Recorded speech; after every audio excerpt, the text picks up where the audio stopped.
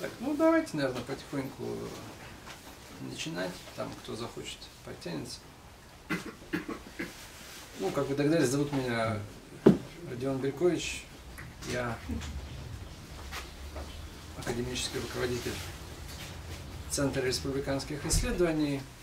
А, и, соответственно, хотел бы сразу говорить, что я являюсь составителем антологии, по поводу которой мы сегодня собрались. Да?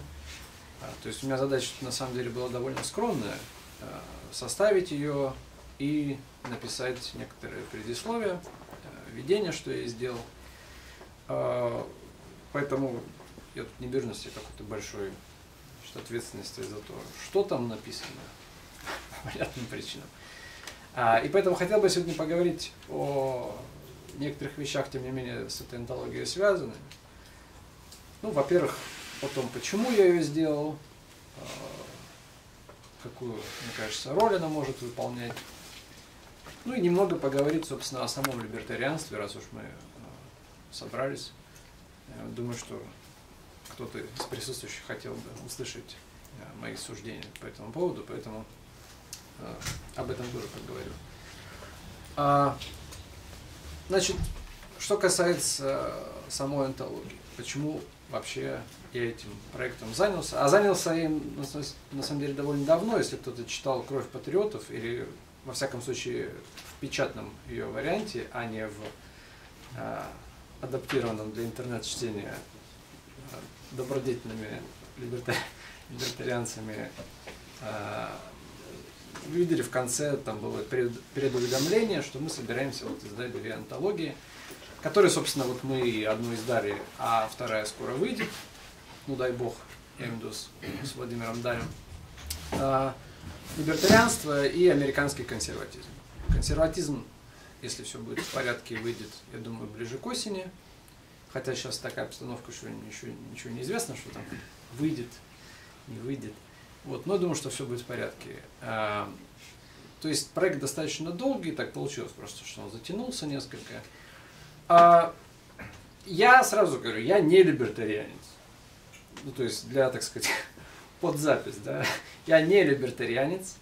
А, но это не означает, что я не считаю нужным проговаривать те вещи, которые в либертарианстве я считаю важными и те вещи, которые имеют значение не только для либертарианцев.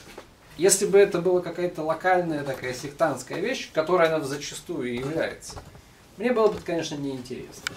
Но я вижу в либертарианстве те смыслы, те интуиции, те идеи, которые мне кажутся принципиально важными, которые нужно проговорить. Это во-первых. А во-вторых, я исповедую, так сказать, принцип, в соответствии с которым люди должны мыслить, опираясь на максимально доступный объем информации.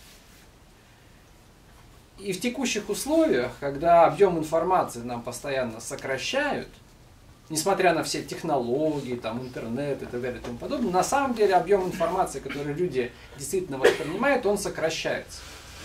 То есть любой из вас, кому там больше, я не знаю, 25, наверное, может быть, 30 лет, э, знает это на своем примере, что если там в 90-е, например, информации было меньше с точки зрения того, что технически было сложнее достать, там, книжку какую-то найти, или там пластинку, диск и так далее, но интенсивность ее восприятия и потребления была гораздо выше.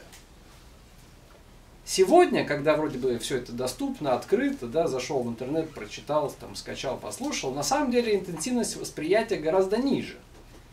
По разным причинам, но вот есть какая-то такая странная немного связь. И поэтому мне кажется принципиальным сегодня, когда этот поток информации на самом деле сокращается, выполнять функцию, скромную достаточно, некого такого э, кристалла, который концентрирует информацию и доносит ее э, в той форме, которая, мне кажется, все еще сохраняет некоторый флер ну, старого мира. То есть, иначе говоря, понятно, что можно полезть в интернет, что-то читать и так далее, но тем не менее сейчас все важнее становится вступать в некоторые более интимный, если угодно, диалог друг с другом. То есть, когда я вот вам сообщаю, что мне кажется важным, вот, например, в либертарианстве. Для того, чтобы либертарианство стало чем-то более сложным, интересным и глубоким, чем то, как оно представлено условно в сознании там, человека в интернете, да, для которого есть там, как это, как это называется, там, политический компас, да, там вот, значит, вот здесь эти, вот здесь эти, и все, в общем, все понятно, да, ну, там фашисты, там анархисты, там либертарианцы, там еще кто-нибудь, и, дескать, мир простой, да, все, собрались, я поднял этот флаг, вы другой, там, я нацепил этот значок, вы другой, вы этот мем публикуете, я третий, и как бы все разошлись по своим комнаткам, и ничего не происходит. Потому что это и нужно истеблишменту. Чтобы мы все просто взяли себе значок, прикрепили себе и ходили. Там и говорили, я там анархокапиталист, а я там фашист, а я там коммунист, например. И все, всем прекрасно. Это, это и называется на самом деле современный капитализм. Квинтэссенция которого это футболка с Че Геварой. Да, то есть вам продали революцию вы надели на себя футболку с Че Геварой, и вы чувствуете, что вот я участвую в политической жизни. Но эта логика, которая началась с банальных вещей в виде футболки с Че проникает с помощью, в том числе, средств телекоммуникационной сети интернет, тотально. То есть все становится таким. Да? Нас заставляют мыслить в категориях схем, в категориях полочек. Вот как здесь книжки стоят на полочках. Но здесь понятно, здесь как бы для удобства. Она всех заставляет так мыслить, чтобы у нас все было понятно. Вот эта полочка, значит, там, с правыми. И если я левый, если на другой полочке, я, значит, должен тыкать туда пальцем говорить, плохие люди, дяди, плохие дяди, не смотри туда. И наоборот.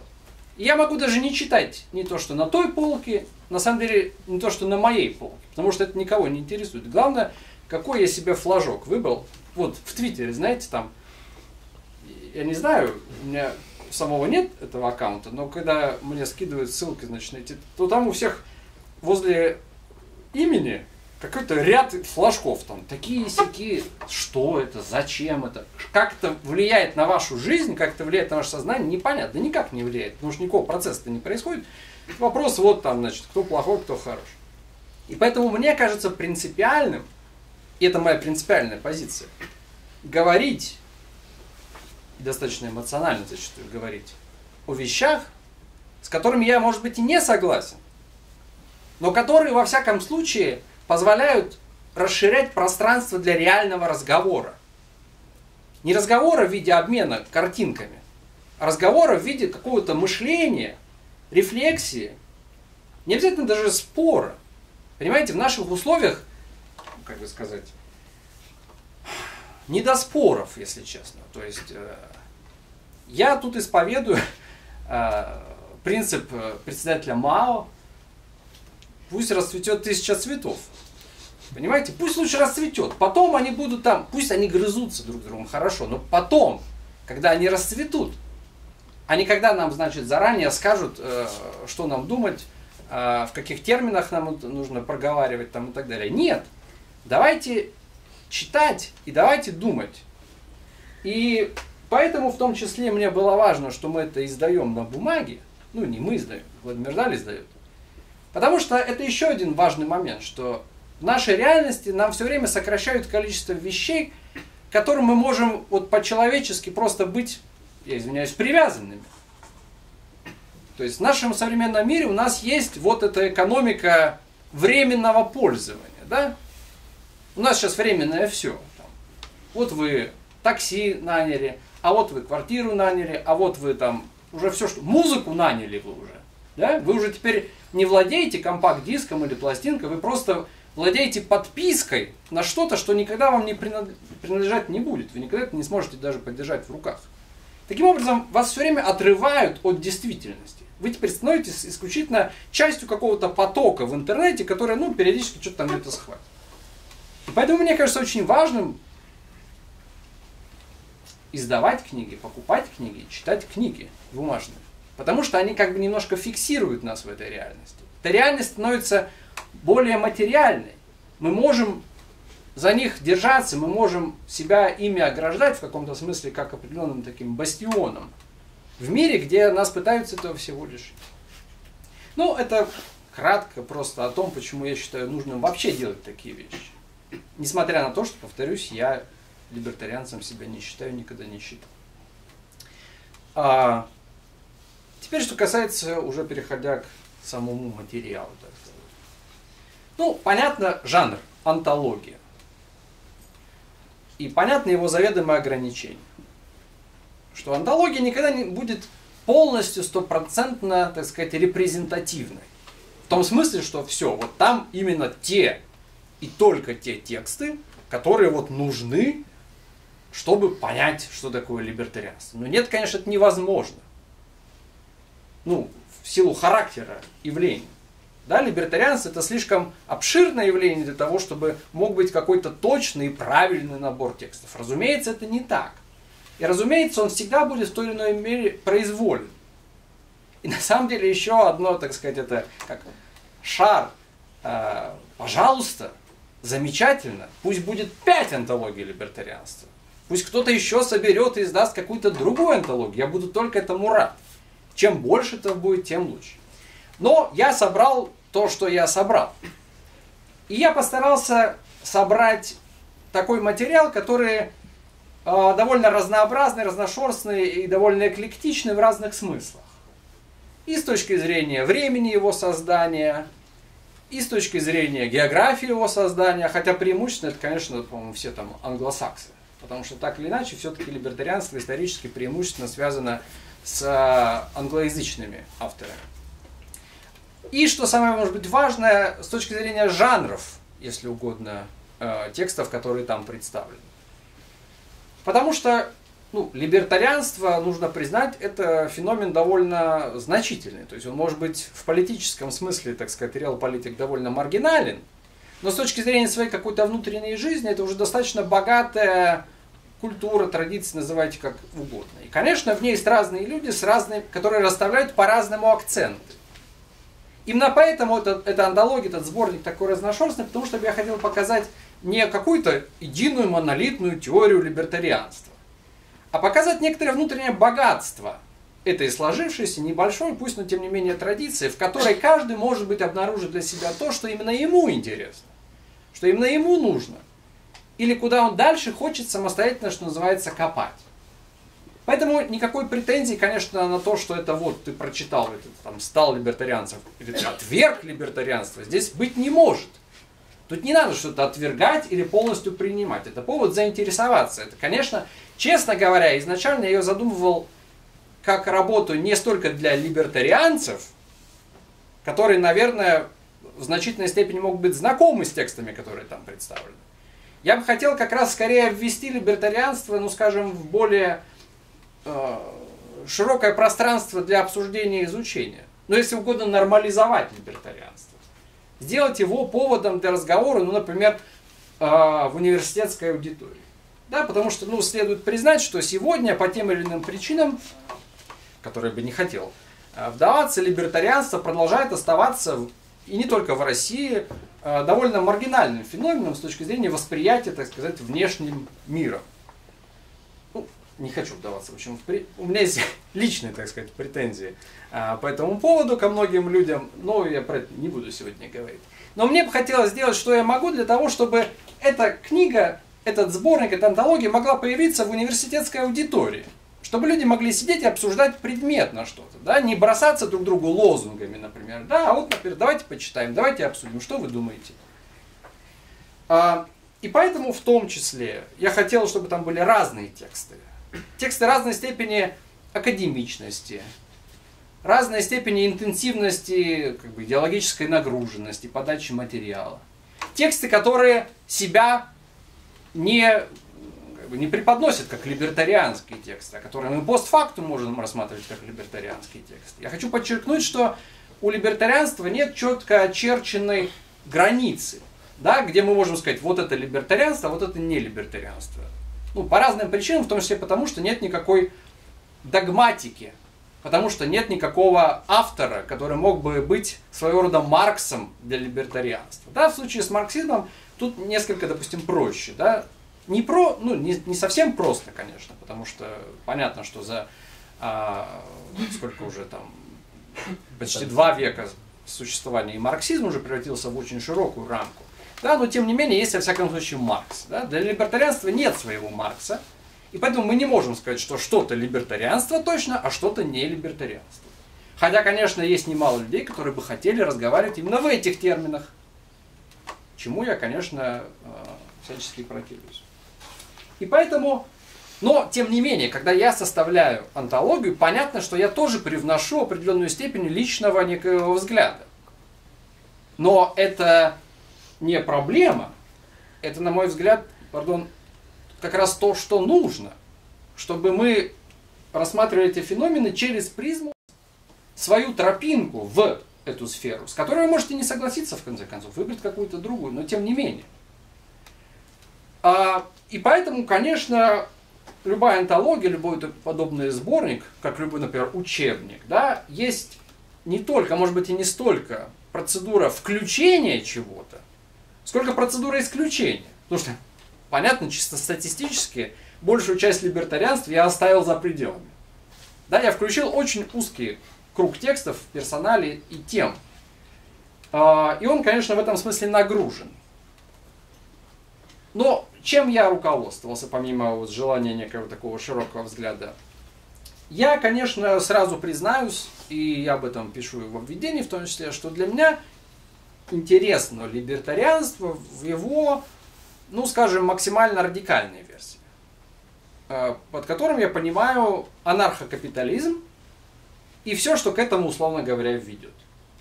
Почему я сейчас тоже про это проговорю, но тем не менее, я просто заранее признаюсь, да, что для меня либертарианство, о котором интересно вообще говорить, это традиция, которую в 20 веке стали называть анархокапитализмом.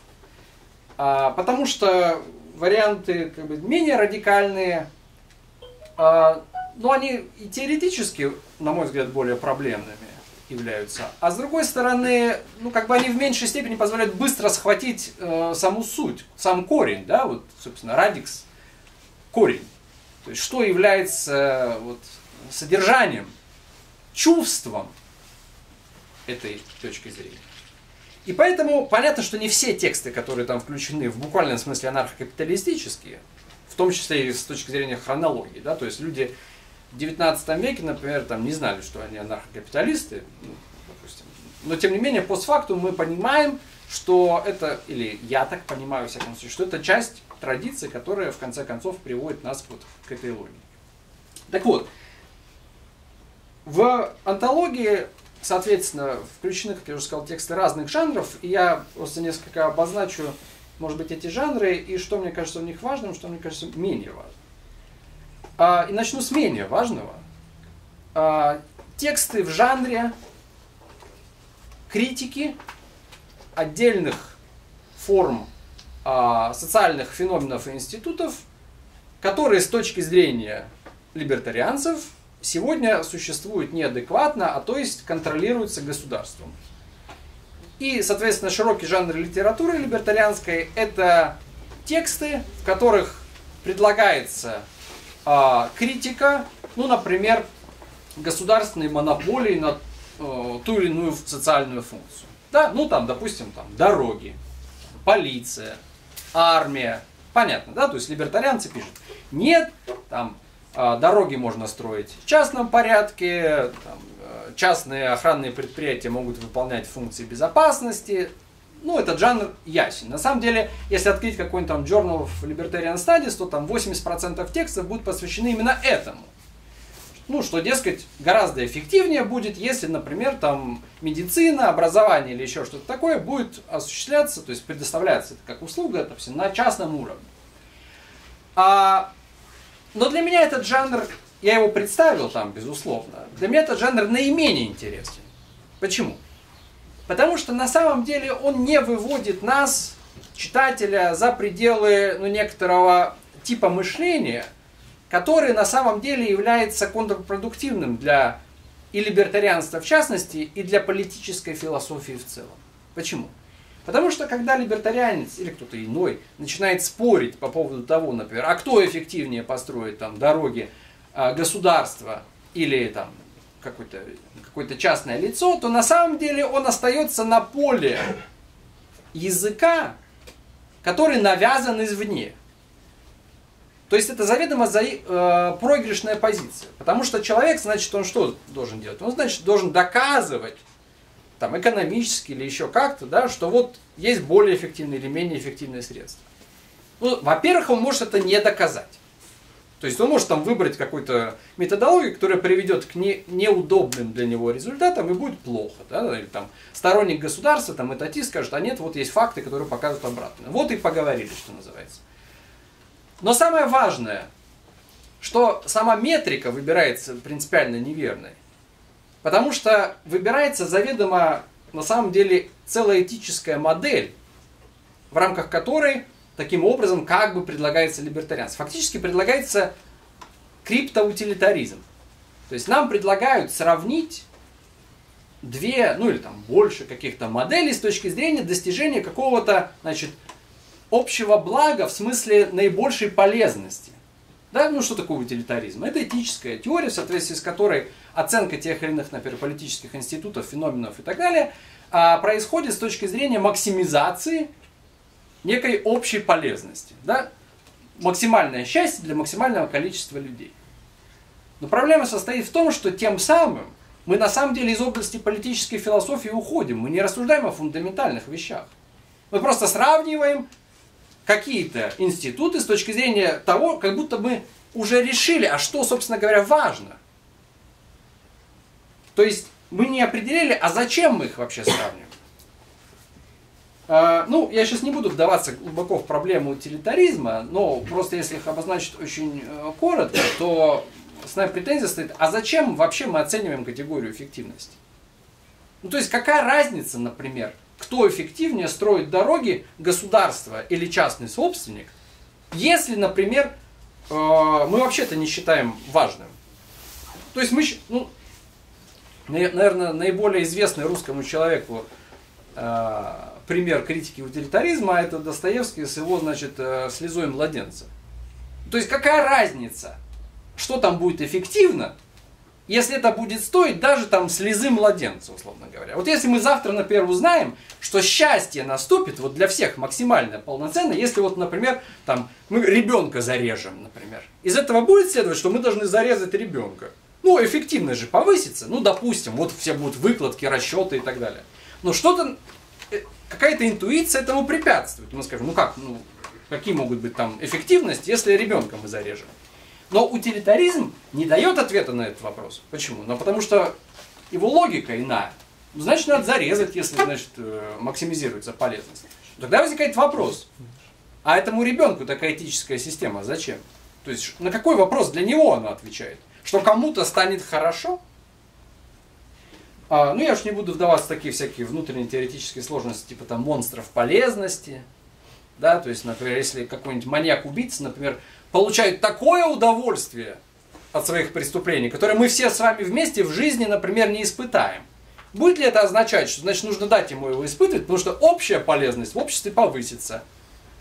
Ну, какие-то интуиции тоже нам препятствуют делать такие выводы.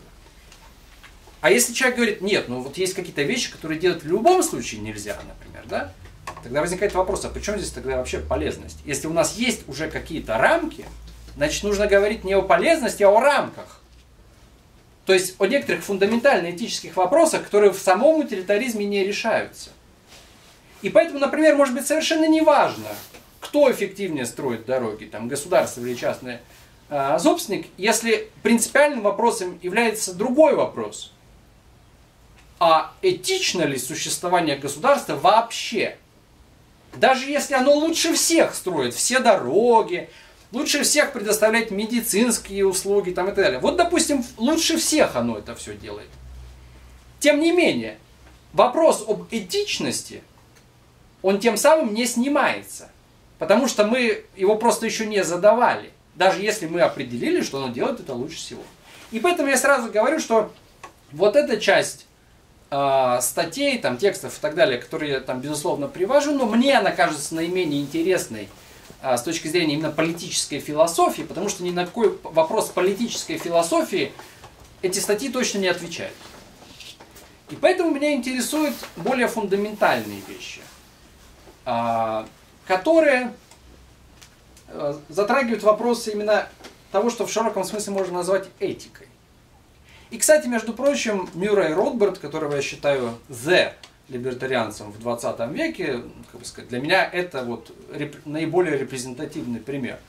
А, он прекрасно понимал вот этот водораздел. И Ротберт четко говорил, что да, я пишу работы, посвященные, например, там, неэффективности государства в тех или иных сферах, но вовсе не эти работы являются принципиально важными. Потому что это просто ну, дополнительные какие-то вот свидетельства, если угодно, примеры, там, иллюстрация неэффективности государства. Но проблема государства не в неэффективности, а в том, что оно фундаментально недопустимо с точки зрения Ротберта, во всяком случае.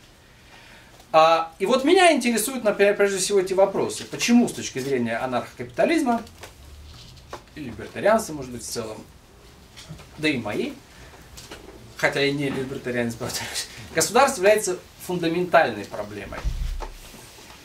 А, и в этом смысле, для того, чтобы поговорить вот о некоторых э, тезисах, которые вот, сказать, представлены в антологии э, с этой точки зрения, нам нужно немножко откатиться назад в историю для того, чтобы понять, откуда есть пошла, так сказать, вся эта либертарианская теория, которая на самом деле гораздо шире, чем вот то, что мы думаем о либертарианстве. А пошла она от перехода, а, ну, прежде всего, Европы, а в последующем и, и североамериканских колоний, от старого мира, от старого режима, от средних веков к новому времени. Вот там а, заложены все основы для предмета, точнее для критики, которые в 20 веке будут просто все более и более э, интенсивно проговариваться. Что имею в виду? Дело в том, что э, средние века это период, который характеризуется феноменом, который, э, допустим, в правовой теории, в политической теории называется феноменом правового плюрализма. То есть это такая ситуация, при которой отсутствует монополия какого-либо субъекта на создание общеобязательных норм в рамках определенной территории. То есть такого субъекта просто нет. Существует масса параллельно существующих нормативных порядков, которые могут создаваться империей, церковью, локальными обычаями, феодалами, а, допустим, международное, в смысле европейское торговое право, которое создается самими торговцами на ярмарках, которые, естественно, не имеют никаких национальных границ. Более того, есть еще представление о естественном законе.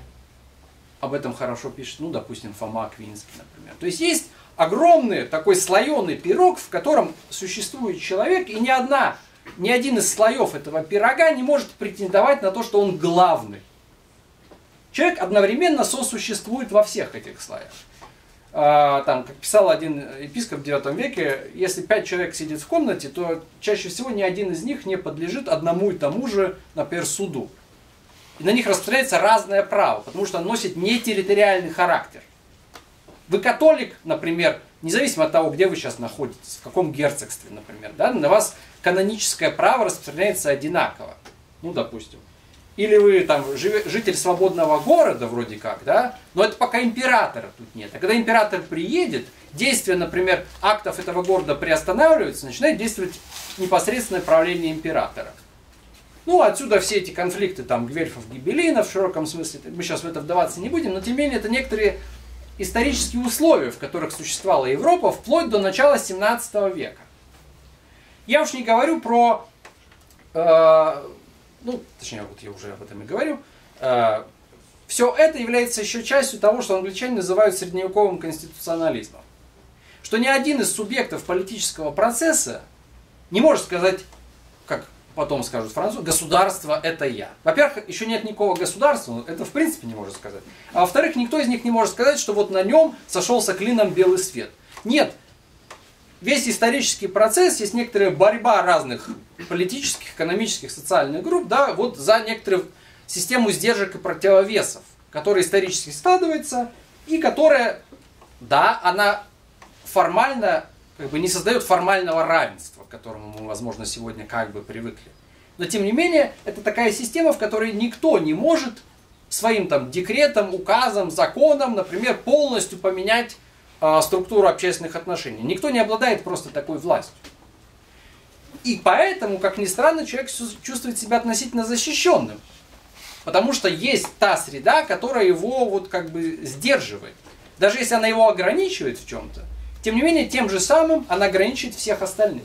Ну, что называется средневековое а, право, это система не прав, а привилегий. Да, когда мы друг друга таким образом сдерживаем. Так вот, при переходе к новому времени самая большая революция, которая происходит в общественных отношениях, это ликвидация вот этого плюрализма. Ее причины очень сложные. Есть очень много разных факторов, к этому, которые к этому приводят. Но есть один конкретный результат. Это возникновение системы национальных государств в первой половине 17 века. Если надо выбирать какие-то конкретные даты, то мы можем связать это прежде всего с Вестфальскими мирными соглашениями 40-х годов 17 века. Суть которых состояла в чем? В том, что у нас теперь на определенной, географически определенной территории есть только один субъект, который называется суверен, и который принимает монопольно решение. Формально это был способ выйти из э, ситуации религиозных войн. Да? То есть суверен будет говорить, все, на моей территории, например, там католики, а, а на моей протестанты. Все, вопрос как бы воин снят. Потому что пока у нас нет вот этой системы, ну какая разница, где вы там находитесь, католики, вы, ну, в общем, понятно. А, но тем не менее, вот именно этот момент и есть момент перехода во многом к новому времени в политическом смысле. Это монополизация и централизация власти, которая, я хочу подчеркнуть, тем самым вовсе не является каким-то люди, которые утверждают, что они там консерваторы, традиционалисты, выступают за феномен, который возникает в 17 веке, который полностью связан с новым временем. То есть вот все то, что было до этого, что действительно можно было назвать традицией, там, консервативной структурой общественных отношений, в которых, например, церковь является абсолютно независимой, в которой церковь может сказать, например, императору, а ну-ка делай, как мы тебе скажем, потому что иначе мы тебя отлучим, и император босой приходит там и просит прощения. Ну, например. Так нет, нет, это все, значит, да, вот мы за крепкое национальное государство, это вот традиционно, традиционно, что существует сколько, там, три века у нас это существует, традиционное национальное государство. Так вот, вот этот переход это принципиальнейший, конечно, момент. В чьих интересах был этот переход? А, в конце концов, в тот конкретный момент времени выгодоприобретателем была, конечно, буржуазия. Почему? Ну, потому что обрушилась та иерархически организованная система общества, в котором вы сколько угодно денег накопите, а все равно вы будете тем, кто, кем вы являетесь, например. Да? Конечно, это было не очень удобно для тех людей, которые зарабатывают все больше и больше, там, ну, понятно, технический прогресс, великие графические открытия, там, привозим больше золота, ну, все это ясно. И поэтому, конечно, для буржуазии было в тот момент очень выгодно, чтобы у нас было национальное государство, которое создает формальное равенство на своей территории, которое, неважно, кем вы родились, главное, что вы делаете, делаете это в рамках общих для всех процедур, ну, замечательно, для буржуазии это прекрасно, что мы теперь, значит, можем торговать и выбиваться в люди. А, естественно, поэтому у нас там а, возникает конструкция а, прав человека, современная конструкция прав человека, то есть как равных прав человека, да, потому что действительно требуется для обрушения иерархически организованного общества.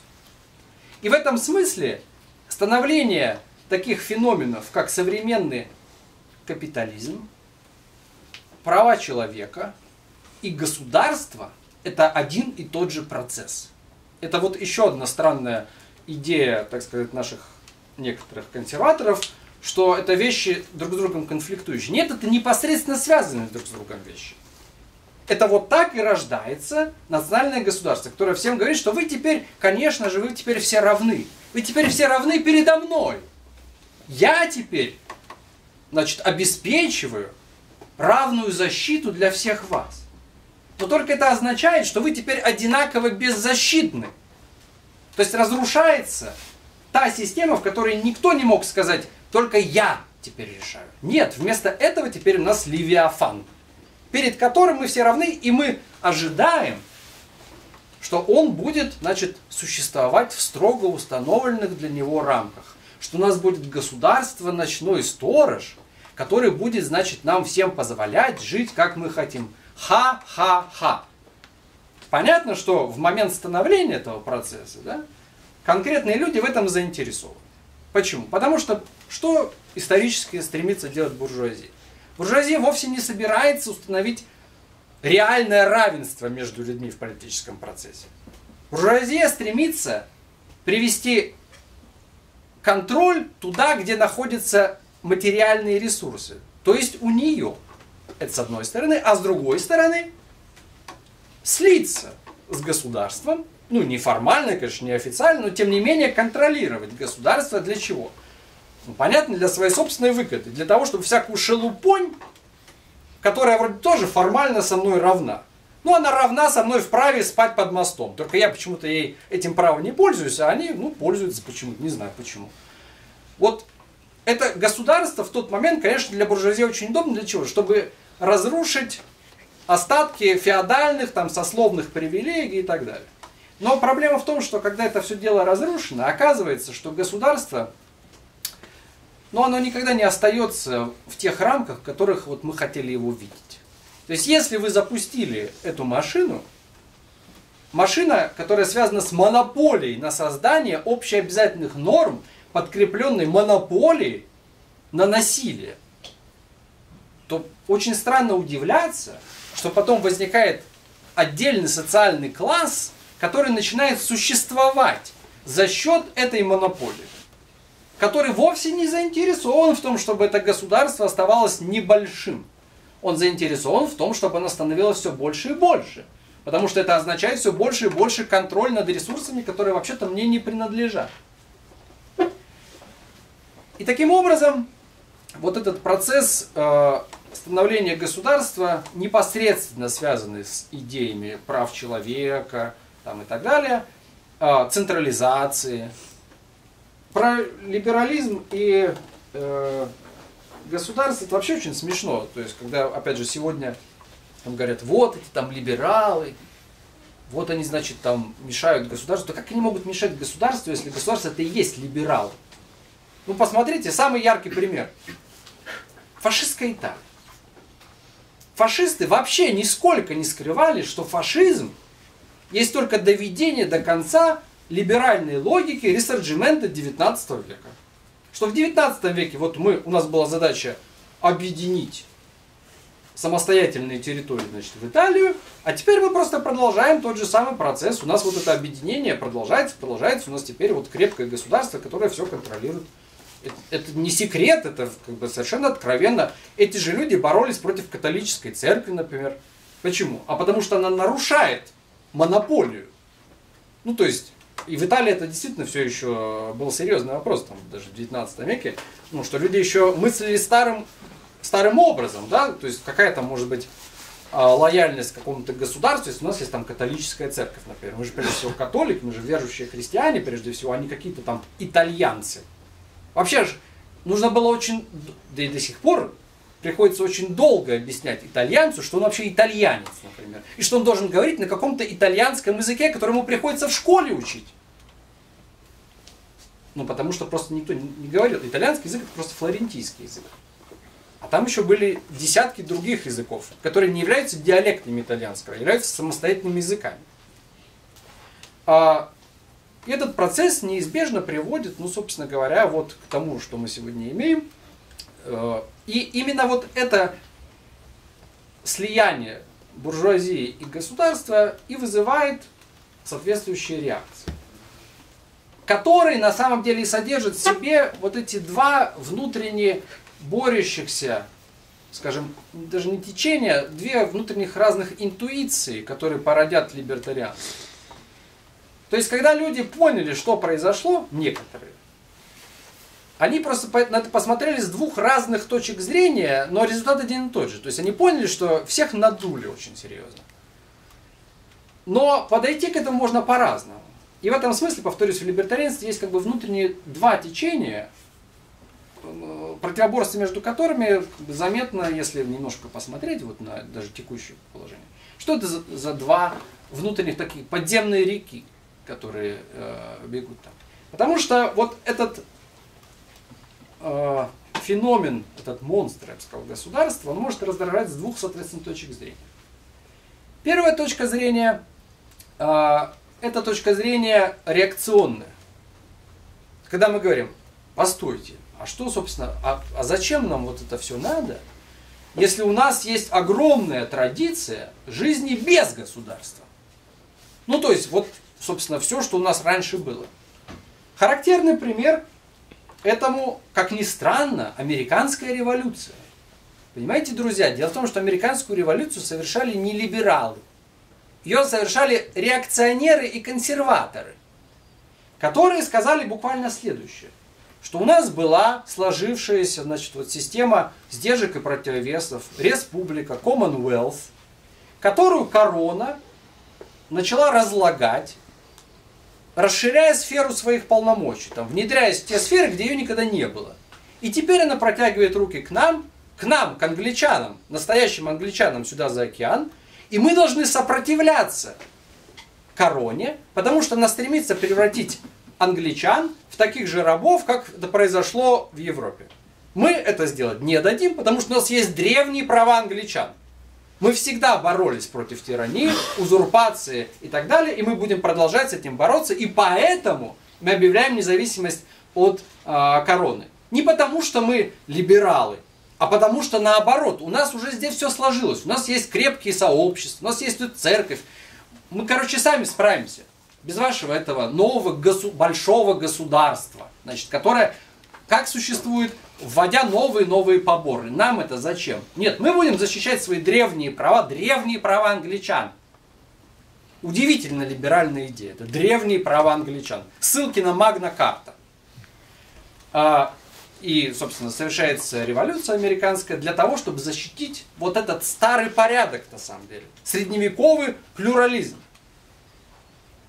Другое дело, что э, после революции, значит, принятия Конституции и прошествия там примерно 100 лет, ну, люди успокоились, и поэтому их можно уже э, было, и что и было сделано, прижать к ногтю превратить это все опять в типичное европейское национальное государство. Но об этом сейчас не буду, э, про это я писал в «Крови, в крови патриотов», э, который вы сейчас не можете прочитать, потому что времени. Но скоро будет. Э, и поэтому вот первая, так сказать, внутренняя интуиция, которая подталкивает к современному либертарианству, это на самом деле реакционная интуиция. Это интуиция, что произошло что-то страшное в районе там 17 века. На самом деле, чуть раньше все началось, но как некоторая такая фокальная точка, 17 век. А вот вторая интуиция, она прям противоположная. То есть эта интуиция связана как раз с идеями индивидуализма. Ну, то есть, это люди, которые сказали, подождите, вы нам в 17 веке, значит, что начали рассказывать? Что государство – это результат общественного договора, что это мы выразили свое согласие, что есть индивид, есть права, и государство это не просто там насилие, тирания и так далее, это результат общественного договора. Но если это так, так давайте говорить до конца, давайте проверим, а действительно ли существующее государство является результатом общественного договора. И обнаруживается, что это вовсе не так. То есть обнаруживается, что вся эта риторика по поводу там согласия, договора и так далее, это просто риторика. А на деле ничего этого нет. То есть, иначе говоря, критика государства с другой стороны, это критика с индивидуалистической стороны. Но этот индивидуализм порожден той же логикой, что и само государство. В том смысле, что это только доведение до конца, до логического завершения того, что говорит само о себе государство. А, и вот эти два, две внутренних интуиции, они, на мой взгляд, и составляют внутреннее напряжение, которое существует в современном, в том числе, либертарианстве. Почему? А, Потому что эти две интуиции опираются на несколько разные представления о том, э, что такое человек и что такое сообщество. То есть результат-то один и тот же. И те, и другие ненавидят справедливое государство. Потому что одних оно обмануло, разрушив исторически сложившиеся традиционные системы общественных отношений, а других оно обмануло за счет того, что она им сказала, да, вы индивиды, вы самостоятельные субъекты, у вас есть права и так далее, но на деле мы к этому относимся абсолютно безразлично и так далее и тому подобное. Но вот эти две внутренние интуиции, они на самом деле, конечно, друг с другом конфликтуют. Потому что первая интуиция, ну, скажем, консервативная, реакционная и так далее, да, она опирается на представление о человеке не как у табула раса, как у каком-то самостоятельном какой-то монаде, да, такой полностью индивидуальном субъекте. Она опирается на то, а, что человек вообще-то существует в каком-то сообществе, но он в нем существует реально. То есть вот у меня есть соседи, там друзья, родственники, вот какой-то более широкий круг. А, и я это часть, то есть моя идентичность, она оформляется за счет вот этих наших сложившихся традиций, представлений, там, веры и так далее. И проблема государства состоит в том, что оно все это разрушает. То есть государство в этом смысле абсолютно либеральная конструкция. Оно разрушает вашу идентичность, предлагая вместо нее абстракцию.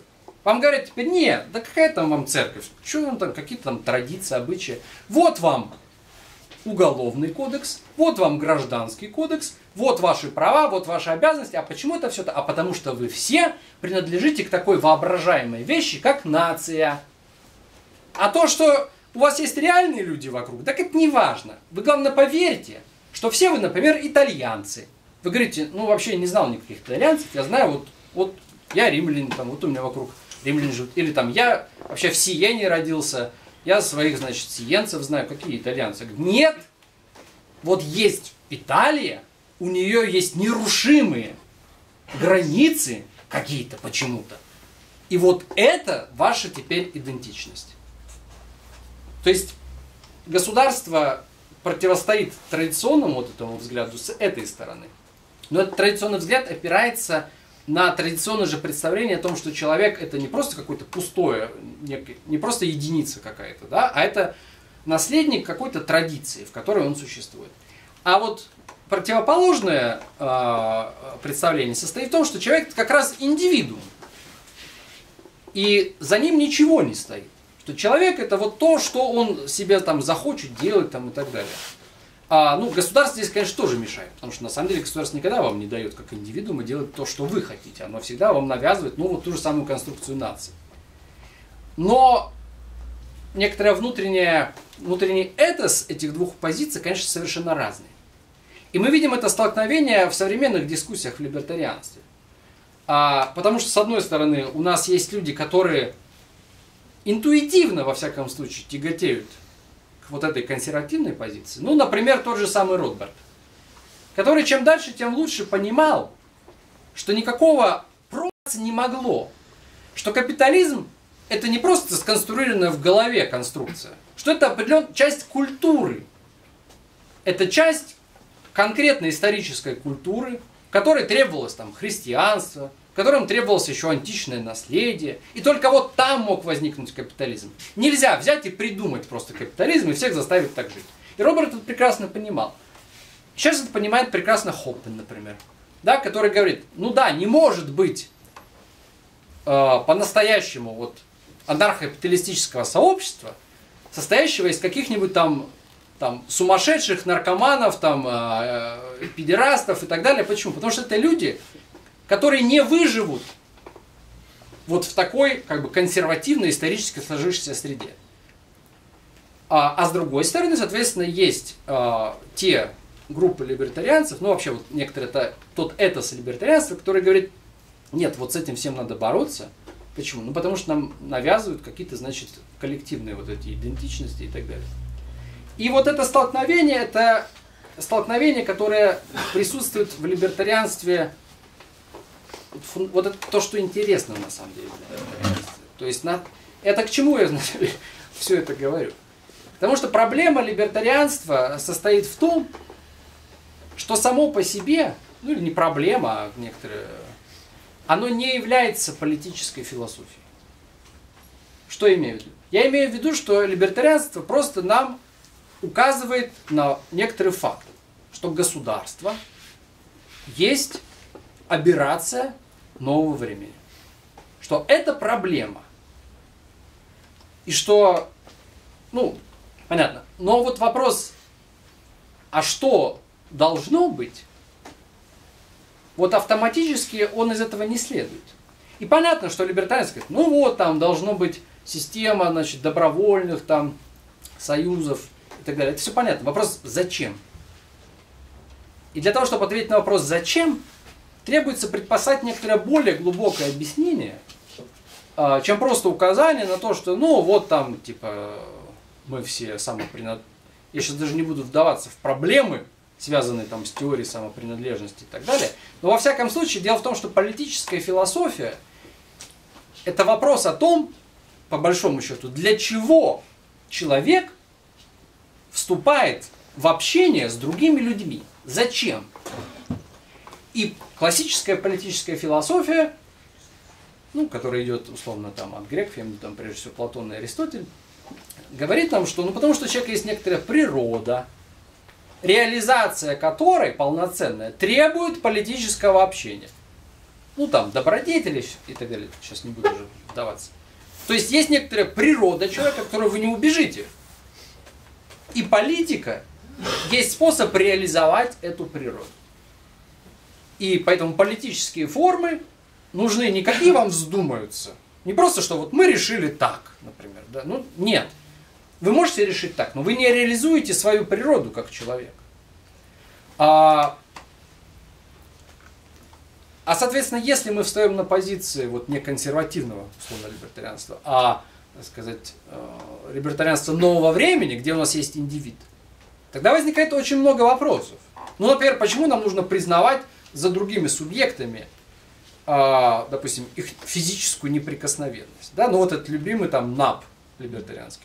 А, собственно, с какой стати? Если, например, вы говорите, что у нас нет природы, у нас нет предназначения, что каждый там сам выбирает, значит, что ему делать, что ему важно и так далее. Так а почему я должен вообще учитывать, что там вы для себя выбираете?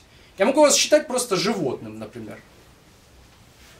Вот у меня было выступление известное несколько лет назад, которое вот у людей с полочек э, вызвало сразу болезненный вот этот тремор по поводу того, что он нас всех назвал животным. Но тезис стоит в том, что нужно определиться, что является, так сказать, э, фундаментом универсальности. Вот в классической политической философии мы говорим, например, там, фундаментом универсальности является природа человека, которая такова и которую мы не выбираем. Значит, мы не можем быть абсолютно свободными в форме того, что мы, значит, э, создадим. Или там в христианстве, которое очень тесно связано с классической политической философией, мы говорим, ну, универсальность вытекает из того, что мы все равны перед лицом Бога, например. И так далее. А вот если мы встаем на позиции абсолютной индивидуальности и говорим, что нет, у нас нет никакой природы, человек это просто некоторый факт, возникают большие проблемы. Как мы объясним себе, что мы вообще должны другого человека рассматривать как нечто существенное, что нужно учитывать. А если нет, тогда вообще исчезает политика. Потому что тогда взаимоотношения просто с, с вечным миром, с камнями, там, животные, если хотите, и так далее. Поэтому вот этот конфликт внутренний, а, который присутствует в либертарианстве, вот мой тезис, я уже долго говорю, хотел, наверное, пора мой тезис состоит в чем? Что либертарианство, для меня во всяком случае, представляется очень важным инструментом для критики фактически существующего статус-кво. Очень важный инструмент, который позволяет высветить те противоречия, которые присутствуют в риторике, преподносимой как что-то само собой разумеющееся. То есть риторики там государства, территориальной целостности, нации, там чего угодно. Вот чтобы это отрефлексировать, либертарианство вещь очень полезная. Но это только первый шаг. Потому что когда мы поняли, что вот это все это надувательство, дальше у нас должен возникнуть вопрос, а что не надувательство? То есть что должно, собственно, стать фундаментом нашей жизни? И мы там, например, обращаемся, ну, кто куда, так сказать. И дальше начинается политическая философия. То есть либертарианство это как бы не конец политической философии. Это не сама политическая философия, а необходимые пролегомены к ней, с которой уже начинается, так сказать, раскрытие собственной души. Да, в поиске того, возможно, в чем природа человека, каковы цели, которые стоят перед человеком, и что, исходя из этого, нужно делать. Но, скажем, либертарианская стадия, это очень важно сегодня. Потому что ее ценность это, э, с одной стороны, как бы деконструкция, но вот не марксистская деконструкция, которая призвана разрушить всякую э, целостность, так сказать, человеческой э, личности, а деконструкция как раз всего, что вокруг человека того, что навязано, что преподносит, ну, что преподносится как традиция, и чему там всего три века, например, понимаете? Вот разрушение таких э, иллюзорных вещей для того, чтобы дальше сказать, а вот мы ищем вещи по-настоящему важные. Возможно, кто-то будет их искать там у Платона. Возможно, кто-то будет их искать у святых отцов, например, да, или еще где-то. Но на самом деле выбор не очень большой. И даже это не совсем, даже это не совсем выбор, потому что никакой проблемы между тем, чтобы искать это у святых отцов и у Платона одновременно, не существует, как мы знаем, потому что Платон и Аристотель вполне себе признаются э, православной церковью как э, мудрецы, которые разумом схватили те вещи, которые потом э, были явлены Господом нашим Иисусом Христом в виде, так сказать, своего присутствия в нашем мире. Поэтому а, поэтому я бы хотел, чтобы вы и сами знакомились, и других знакомили с либертарианством, но держа в уме вот эту важную вещь, что в конце концов мы с вами не, э, как бы мы проживаем там эти там 70 лет или там сколько получится нашей жизни, есть вещи важнее, чем непротиворечивая схемка определенная, значит, как нам обустроить Россию или там Новую Зеландию. Вопрос всегда стоит по поводу человеческой души. Я реализую свою природу или не реализую? И те отношения, в которые я вступаю, они затрагивают этот вопрос? Я понимаю вообще, для чего это все нужно? Или это просто какая-то навязанная какая-то жвачка, которая мне вбрасывается, я должен ее жевать? Это не важно, как это называется. Она может быть даже называться и само либертарианство. Когда это просто удобная конструкция, чтобы ее, значит, чтобы себе объяснить, а, что я делаю, но на самом деле не задумываться по этому поводу. Это просто красивая схема. Да, там вот есть самопринадлежность, собственность, трудовая теория, там, а, титулы и так далее, и как бы и все, вопрос закрыт. Вот нельзя вопрос закрывать, потому что мы с вами э, не просто собственники своих тел, а все-таки у нас есть бессмертные души, ради которых мы, в общем, и должны стараться. Спасибо.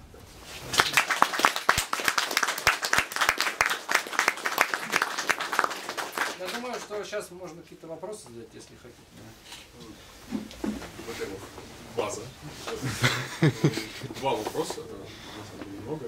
Первый, надеюсь, вспомните контекст, поймете метафору, какого ребенка нужно убить, чтобы построить качественные дороги. Все-таки давайте вы мне поясните.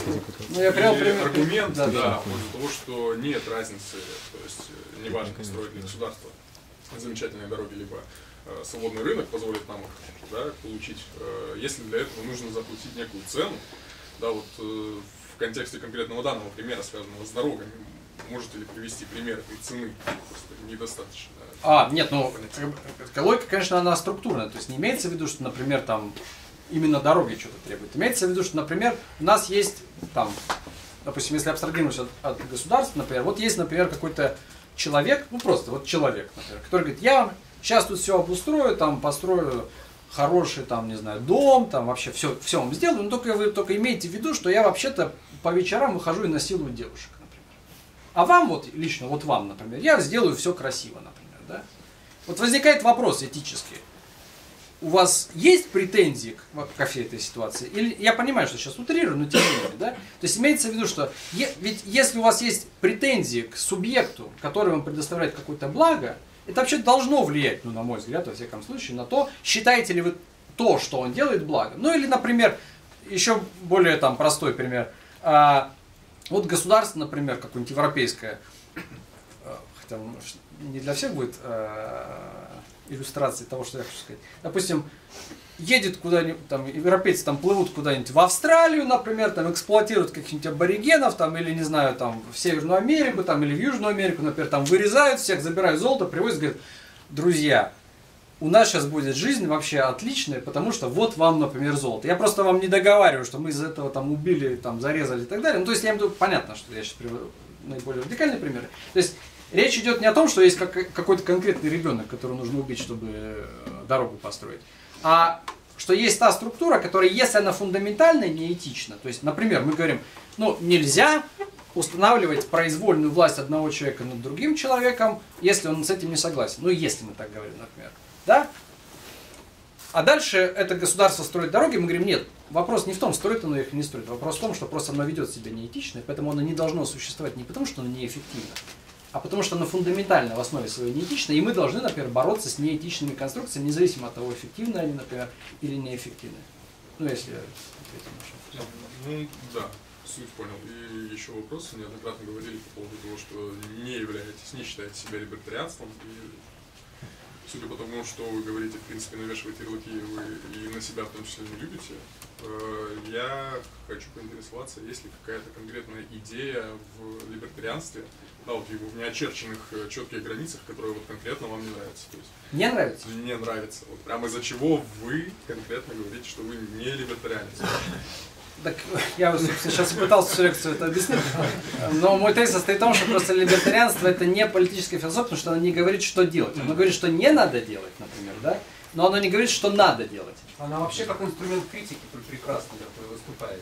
Ну да, то есть, э, поэтому дело не в том, что мне оно вот не нравится как-то принципиально. Просто у него есть, как называется в науке, ограниченная как бы, граница применения. Да? Граница его применения это критика современных форм. Дальше, то есть, что дальше-то делать? Вот после того, как мы поняли, что это все там плохо. То есть, зачем нам объединяться? Ну, либертариан скажет, да зачем хотите? Ну, типа, вот как договориться, так и будет. Я понимаю, что зачем хотите. А я теперь спрашиваю, а зачем? Ну, то есть, ответьте мне на вопрос, типа, зачем мне, ну, там, вообще что-то делать в этом мире? Либертарианство это не может дать ответ, ну, как мне представляется, потому что оно и не претендует на такой ответ. Оно претендует только на вот эту, условно, свободу договора, а вопрос состоит для меня, как для человека, живущего 70 лет, а не вечность. Зачем мне вообще вступать в какие-то договоры, о чем мне нужно, о чем не нужно договариваться? Вот на это либертарианство ответа и не дает. Спасибо. У меня тоже будет два вопроса. А, первый, он про а, границы консерватизма. А, многие консерваторы сейчас думают, что консерватизм это просильное государство. Вы это разоблачили довольно наглядно. Вы сводите консерватизм, как я понимаю, к христианству. Ну и тогда, если говорить честно, вы скорее являетесь не столько консерватором, сколько последовательным э, христианином. И какие-то люди вам спокойно могут сказать, что э, консерватизм, он на самом деле э, про язычество вообще, потому что христианство это тоже новые институты, которые навязывались на языческое общество. Э, ну, есть версии, что с централизации власти определенных людей. А тем людям уже могу сказать, что консерватизм это вообще про обезьян, что вот тогда как бы люди жили традиционными институтами. И тогда становится немного неясным с точки зрения терминов и значения, к чему мы сводим консерватизм, где его пределы? Ну, я не говорю, что я консерватор, на самом деле, потому что консерватизм сам по себе это э, феномен вторичный, и возникает он, на самом деле, в очень конкретных условиях. Консерватизм как феномен возникает применительно к французской революции. То есть, э, и поэтому он просто в конкретный момент означал сопротивление тем изменениям, которые принес 1789 год. Поэтому я про консерватизм, если что-то сказал в том смысле, что это я, то это, наверное, не совсем было, или случайно что-то такое. Я не, выступ, я не, не выступаю с позиции «раньше было лучше». раньше не было обязательно лучше, потому что, например, до Христа было хуже, чем э, после пришествия Христа. Как христианин я не могу выступать с позиции просто просто раньше, раньше, раньше, раньше. Ну, это совершенно не обязательно. Раньше могло быть и хуже. Меня интересует э, настоящее и будущее, скорее, не прошлое. Поэтому, а уж про, значит, так, языческую критику. Э, ну, язычество это вообще современное это изобретение выпускников литературного института, которые, значит, вот им, они могли бы там толкинистами быть, а некоторые там Перунов ставят там или еще что-то такое.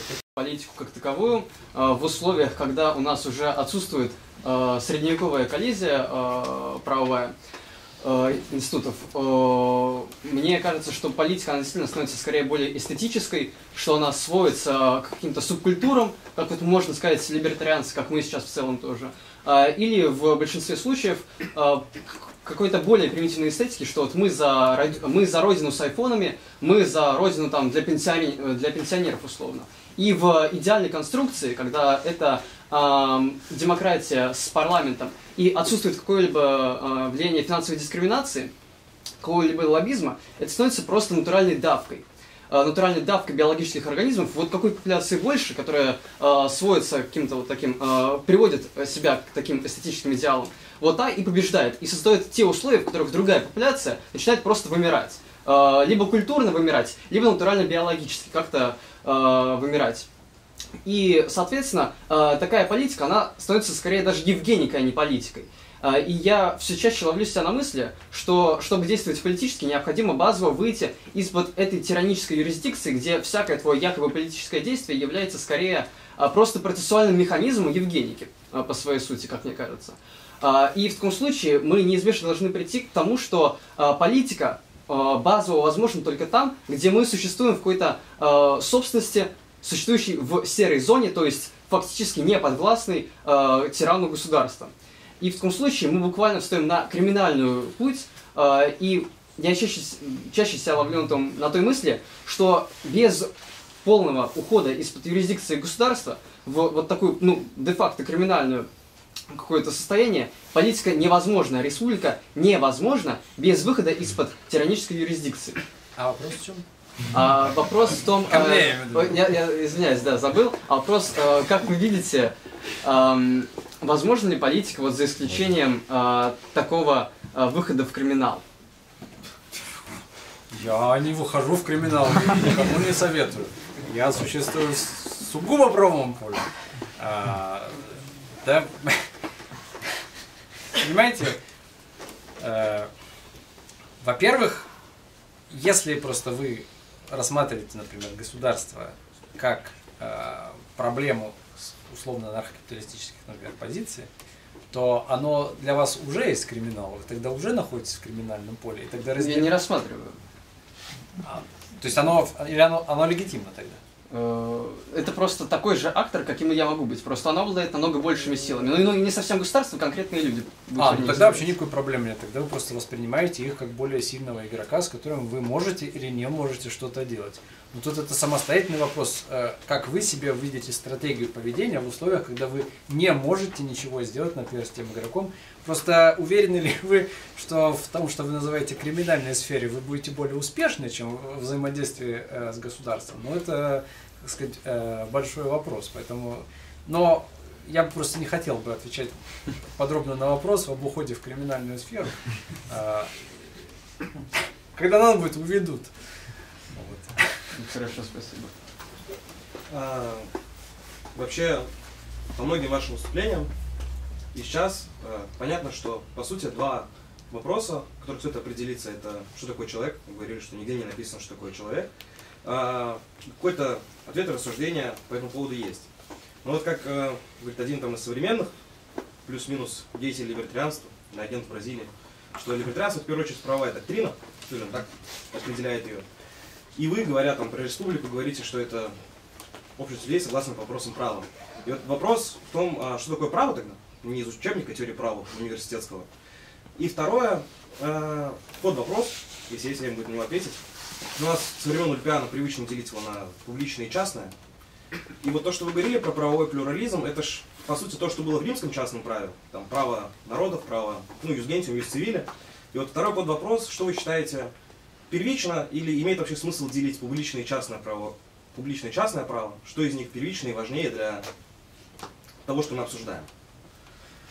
Ой, слушайте, ну вопрос про право это пас в больницу. Э, в том смысле, что э, я все-таки полагаю, что право, то есть Хорошо. Я думаю, что если вы задаете вопрос, наверное, вы примерно представляете, э, что я не стою на аналитических позициях, я не считаю, что можно дать э, универсального определения права, которое бы работало ну, как, допустим, для Харта, там, там, или вот ребят, там, Раза, да, которое было бы универсальное именно на, на аналитическом уровне. То есть я считаю, что такого, такой вещи нет. А, и уж тем более, мне кажется, смешными тезисы, потому что там либертарианство это, ну, ну, то есть оно автоматически либо это юс-натурализм в той или иной форме, а, либо это все равно позитивизм. То есть, ну, может быть, я могу вступить в какую-то дискуссию, если мы, опять же, сначала дадим такое определение либертарианства, которое будет определением права. Но я пока не слышал у либертарианцев какое-то особенное определение права, которое бы не охватывалось, ну, например, юс натурализмом. Хотя там, насколько я понимаю, тот, про кого вы говорите, очень долго отрицал, естественно, правовую э, конструкцию, во всяком случае, в разговоре со мной. А, но я не очень понимаю, как можно вывести, например, тезис о хотя бы даже самопринадлежности, например, не утверждая, что это есть э, естественно правая конструкция. Потому что если она не естественно правая, она автоматически должна быть конвенциональная, а если она конвенциональная, то она перестает автоматически работать. Да, если с вами не договорился о том, что вы себе принадлежите, значит вы себе не принадлежите, ну, условно говоря, да. Следовательно, она естественно правая, что мы автоматически, допустим, себе принадлежим, ну, просто вот как вот в силу структуры реальности. Тогда это юс натурализм да, и со всеми его следствиями. То есть я просто в либертарианстве не вижу никакой самостоятельности. Да и, собственно говоря, а, наиболее интересные авторы ну, юридического направления, условно говоря, вот которые, допустим, для меня в 19 веке, понятно, это Александр Спундер, например. Он был, ну, безусловно, юст-натуралистом. У него, собственно, есть работа, которая называется Natural Law, в котором он рассказывает, например, что государство как раз не должно создавать нормы, именно потому, что все нормы уже существуют они даны нам природой и Богом, мы просто должны им следовать. Ну, то есть это э, и отсюда у него вытекает, там, допустим, неприкосновенность права собственности, там, возможность добровольного выбора или отказа от выбора а, власти и так далее и тому. То есть это совершенно, на мой взгляд, юс натурализм. А второй вопрос, или я забыл под вопрос. Второй вопрос э, про то, если уж у нас есть право, оно у нас исторически делится на публичное и частное. Имеет ли смысл такое деление? И если да, то э, а, ну, мне кажется, оно довольно техническое это деление. В том смысле, что оно не затрагивает какие-то концептуальные вещи. Просто я думаю, что разные общества в этом смысле э, делают разные... Ну, допустим, для римлян, понятно, допустим, в принципе, сфера права рождается скорее как сфера частного права. Да? А, но это особенность, опять же, римской культуры и римской цивилизации. Да? А, кстати, любопытно, если мы говорим про римлян, это очень характерный пример, да, что как раз э, римляне предпочитали не задаваться, например, вопросом о природе например, той же самой собственности, да, то есть если мы читаем, ну там, там дигесты там, и, и прочие институции, мы никогда не, не определим, а что такое, то есть какова природа этой собственности. У нас есть там титулы, способы приобретения, возникновения и так далее, а вот природа собственности, например, там не раскрывается. Ну, интуитивно понятно почему, потому что если начать ее раскрывать, окажется, что ее, например, нет. Ну, то есть у нее нет никакого фундаментального основания, кроме культуры, и вот в этом смысле публичное право, я бы сказал, что это прежде всего та социальная культура, которая существует не в силу того, что мы ее закрепили, а в силу того, что у нас, нас она объединяет, ну вот как вы сослались в начале, да, что у нас есть согласие в вопросах права. Согласие в вопросах права это не просто согласие по поводу того, что у нас будет написано в Уголовном кодексе, Гражданском кодексе и так далее. Это у нас общая интуиция по поводу того, что у нас есть одинаковые, если угодно, понятия что мы одинаково примерно видим себе мир, мы понимаем примерно, как нормальные люди должны вместе сосуществовать, и дальше мы занимаемся в том числе, например, частным правом, создавая уже конкретные нормы для того, чтобы предотвратить или снять, например, какие-то технические конфликты, например. Да? И в этом смысле публичное право, чем больше государства и вообще обществу требуется что-то фиксировать применительно к публичной сфере на бумаге, тем меньшая степень это означает, что существует у них э, реального общего представления о жизни. Ну, как мы понимаем, например, ну, самый типичный, понятный пример это э, Великобритания с отсутствующей э, писанной конституцией. Но это не означает, что нет конституции. Это означает, что constitution – это сама жизнь, в которой сохраняются еще элементы этого средневекового э, плюрализма, системы сдержек и противовесов, где люди и так знают, как нужно себя вести, кто что может делать, кто что не может делать и так далее. Поэтому чем больше мы говорим о праве там, в виде его кодификации и так далее, а, тем в меньшей степени мы друг друга понимаем. Или точнее, мы поэтому и говорим, что мы друг друга меньше понимаем. А, ну, короче, чем более юридифицированными становятся общественные отношения, тем они на самом деле в меньшей степени отражают наш, нашу какую-то общность. А, Не знаю, отвечал ли я на ваш вопрос или просто болтал Я просто добавлю, что по поводу либертарианцы являются юс-натуралистами. Вот те, кто конвенционально вписывается в либертарианство, но те, кто не нажали бы на кнопку уничтожить государство, там тоже Мизес Хайек написали целые талмуды про то, что э, право-то оно может быть только частным, а публичное оно является только так, административным способом управления какими-то делами. Там, право, законодательство и свободу у Хайека.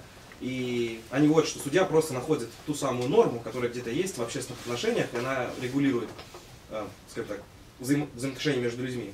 Но мне кажется, ближе всего, наверное, с точки зрения и практики, как критерий истинности и тому, того, что вы говорили, подошли правые реалисты. Это вот Дворкин и Кардоза и прочие. Не, но все-таки Дворкин это не правовой реализм. Все-таки правые реалисты это Левелин, Джером Фрэнк, это люди на поколение раньше. И, ну, мы сейчас просто ну, уйдем совсем... Э, Дворкина я не люблю, кстати. И, как бы, но единственное, что, знаете, что, у Дворкина есть хорошая статья, называется Why Efficiency. Это вопросы, которые я сегодня поднимал. А, ну, может быть, некоторые знают, есть такой феномен, называется экономический анализ права, связанный, прежде всего, там, с Познером и так далее. Это люди, которые сказали, так, давайте на право смотреть с точки зрения его экономической эффективности. Ну, типа, давайте посчитаем, какие нормы эффективны социально, какие неэффективны. Значит. И Дворкин задал ему справедливый вопрос. Why efficiency? Почему мы вообще должны оценивать право с экономической точки зрения? Это вот, помните, я вначале говорил про утилитаризм, да? Что, дескать, а давайте посчитаем. А с какой стати мы должны считать экономические эффекты права, например, если это право придет, ну, например, там, не знаю, к Освенциму, например, да? Ну, ну, допустим, допустим, это было экономически, может быть, эффективно. Означает ли это, что это нужно допускать просто потому, что это экономически эффективно? Поэтому вот я вспомнил, что у Дворкина была вот эта хорошая статья э, с точки зрения критики утилитаристского подхода к праву.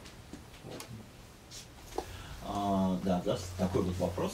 А, вот, а, допустим, а, как мне кажется, в либертарианстве, я считаю себя либертарианцем, а, в либертарианстве есть а, такое противоречие внутреннее, которое может быть как-то разрешимо, но для меня оно пока кажется неразрешимым. Вот чтобы перейти к либертарианскому обществу, организованному на либертарианских принципах, неважно, на принципах Ротбарда, а, там а, тот же НАП, те же там, тот же принцип Гомстеда, тот же принцип самопринадлежности, ну, со всеми вытекающими, или там принципом там, частных городов Титуса Гебеля, тоже достаточно близких к либертарианству, вот это вот раз, пусть расцветут тысячи цветов под эгидой частных юрисдикций. Вот чтобы перейти ко всему этому, в устоявшихся государствах необходимо сломать ряд существующих государственных или квазигосударственных механизмов, которые, очевидно, будут этому мешать.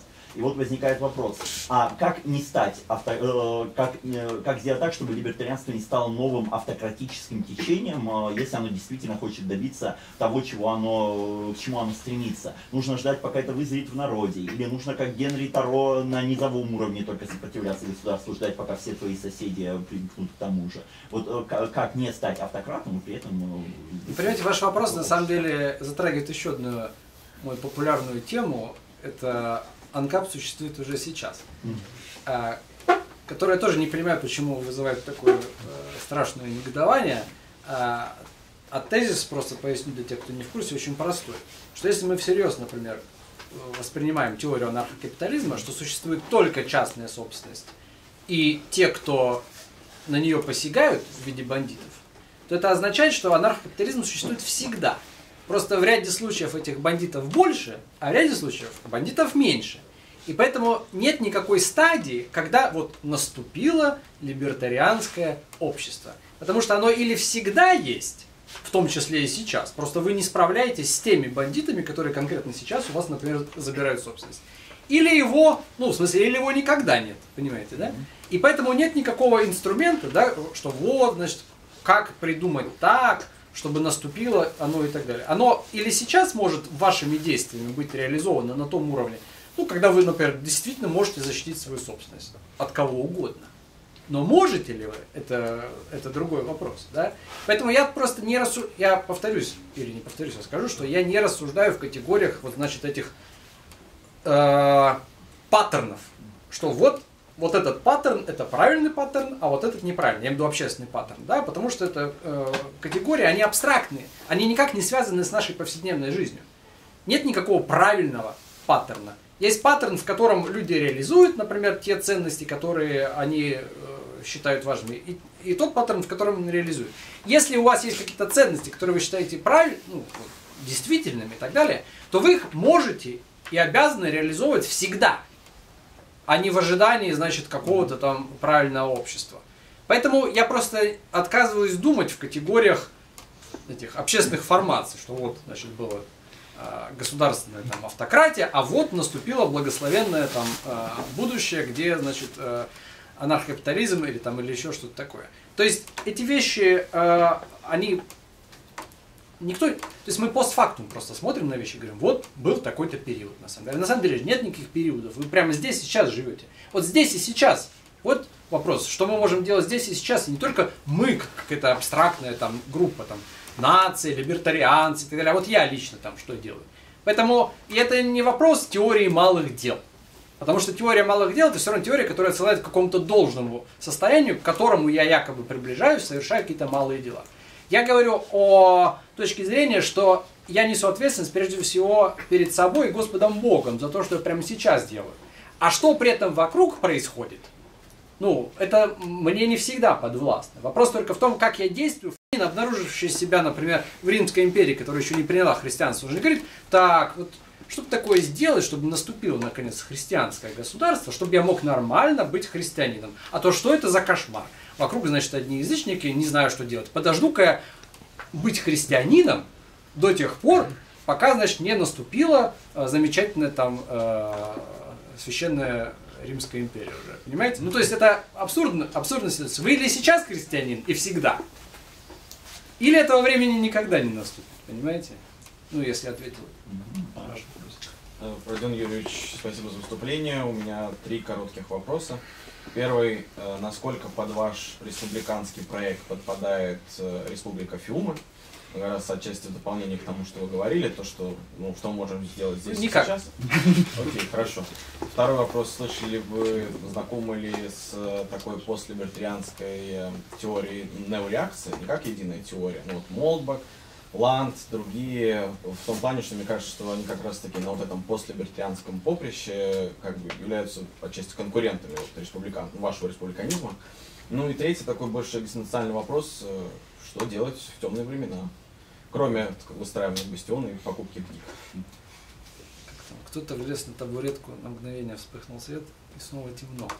А, ну, это с последнего вопроса, э, начиная. Э, да понимаете, ну вот мое, это мое личное убеждение, что у нас сейчас очень большая проблема с реальностью. В смысле вот с физической реальностью. Почему начал разговор сегодня там с книги буквальном смысле этого слова. Мне кажется, что сейчас э, механизмы контроля над людьми все больше и больше приобретают характер контроля вот над их степенью взаимодействия с материальным миром. То есть у нас забирают материальный мир. То есть это может быть очень далеко, конечно, у меня такой как бы заход. Но мне представляется, что это очень важно, что нужно возвращаться к материальному миру в смысле вот вещей, людей, предметов, коммуникации, понимаете? И это опять же может казаться все очень далеким, но, но в конце концов, а что, кто-то что-то делает лучше? Ну, то есть, э, я вот, например, не думаю, что там споры в интернете по поводу того, значит, э, как там правильно что интерпретировать или как комментировать там какие-нибудь события, что это полезнее. Мне кажется, что полезнее это вот вернуться к вещам, которые очень, им трудно, то есть, кто может подавить в вас вот ваш контроль вот над тем, что вы действительно можете в руках держать, понимаете? Никто. Ну, то есть, э, и это может казаться со стороны безобидно, но на самом деле, когда вы говорите, вот, это вот мои вещи, я за ними ухаживаю, понимаете, это, это звучит, может быть, нелепо, но в современном мире вот эта попытка заземлиться, что э, называется, да, то есть контролировать с кем я разговариваю, о чем я разговариваю, на каком языке я разговариваю, какие предметы меня окружают дома, например, да. Вот, вот такие вот, казалось бы, банальные вещи. Э, и это не в духе там этого Питерсона, да, что кровать заправляет, а, а в смысле э, какое-то более осознанное присутствие в реальности. Не осознанности, да, там и так далее, а просто вот материальных вещей. Вот нас забирают материальные вещи, например, да, вот к этому надо возвращаться. Я э, говорил, что, вот, допустим, наши эти встречи с вами, ну что я вам за час, ничего, конечно, тут такого нового не сообщу. Но вот сам факт, что мы собираемся и мы о каких-то вещах разговариваем а, как люди, и я не просто там, я надеюсь, вам читаю какой-то установочный, значит, там, доклад, или там рассказываю, как нужно жить. А мы просто вот вступаем в какую-то человеческую коммуникацию, с которой там вынесет каждый, э, что может. Вот это важно. Важно устанавливать э, какие-то реальные э, формы. Потому что, вот, например, э, что недоступно тирану? Тирану недоступна дружба. Почему? Потому что дружба настоящая по Аристотелю – это э, способ одного человека стимулировать другого человека к добродетели. А тиран заведомо не добродетель. Он не может найти в другом человеке того, кто будет говорить ему, что ты должен перестать быть тираном. То есть тирану это просто недоступно. И вот дружба – это очень важная сегодня вещь. Дружба, повторюсь, это не, не, не когда вы принимаете другого таким, какой он есть. Вот это все капиталистическая чушь. А когда вы другого человека, человеку указываете на то, что он хуже, чем он должен быть, и он указывает на это вам. И вы вот в этом напряженном состоянии друг друга подталкиваете к благу. Вот друг друга подталкивать к благу это сегодня очень ценно, потому что нам все время, обратите внимание, нам все время сегодня э, навязывают идею, что мы должны друг друга именно принять. Что вот мы такие, какие мы есть, значит, э, все должны друг от друга, лишь бы никого не тронуть, никого там не оскорбить, не задеть и так далее. Для чего? Для того, чтобы мы все остались вот этими индивидами, которые никого значит, не трогают, э, и можно делать с нами все, что угодно. А мы должны наоборот друг друга стимулировать к тому, чтобы быть лучше, больше, сильнее. Вот. А, а второй вопрос был... Про неореакцию. Неореакция, но мне это кажется тоже, опять же, на каком-то интуитивном уровне это все кажется прежде всего какой-то интернет-феноменом. То есть, э, ну, примерно, это как бы Юлиус Эвола, но только уже для тех, кто вообще из интернета не выходит, понимаете? То есть Юлиус Эвола там в 90-е 2000 был для, человеком для тех, кто просто из дома не выходит. А неореакция это когда ты еще и даже из интернета не выходишь, когда даже на кухню за чаем не можешь сходить, а чтобы мама принесла. Вот, вот неореакция это вот, мне кажется, вот какой-то из этой области. То есть, мне кажется искренне, что все принципиально важные вещи были сказаны, ну, две тысячи примерно, две, две с половиной тысячи лет назад. Э, если угодно, называйте это там осевое время еще там э, и так далее, ну, и, и все, что будет потом в качестве комментариев. Э, и просто, опять же, современная культура – это культура, которая все время требует, что что-нибудь новенькое нам скажите, понимаете? Типа, все это мы еще слышали, давайте-ка еще что-нибудь придумаем. И это тоже способ оторвать нас от действительности. То есть вот у нас сколько книжек стоит, да? А нет, нет, это все уже старенькое, это уже неделю назад опубликовано, это что-нибудь новенькое, понимаете? А на самом деле вот, у нас уже очень много есть, если мы к этому всерьез отнесемся. Но попробуйте вы по-настоящему всерьез к Платону отнестись. Вообще-то очень трудно по-настоящему всерьез к этому отнестись. И вот, вот такую работу вести над собой и над ближними, это очень важно. И поэтому я никогда не говорю, что я придумал что-то новое. Я ничего нового не придумал вообще. И не собираюсь. А, потому что это не самое важное, там, стать новатором, например, там в чем-то. Гораздо важнее не, не утерять э, то, что уже есть. А это вот очень большая проблема. А Фиуме, ну это эстетически привлекательно, когда тебе 15. Но на уровне там какого-то реального республиканского проекта это, конечно, все не очень серьезно. Ну, Данунцев, поэт, кокаин, все понятно.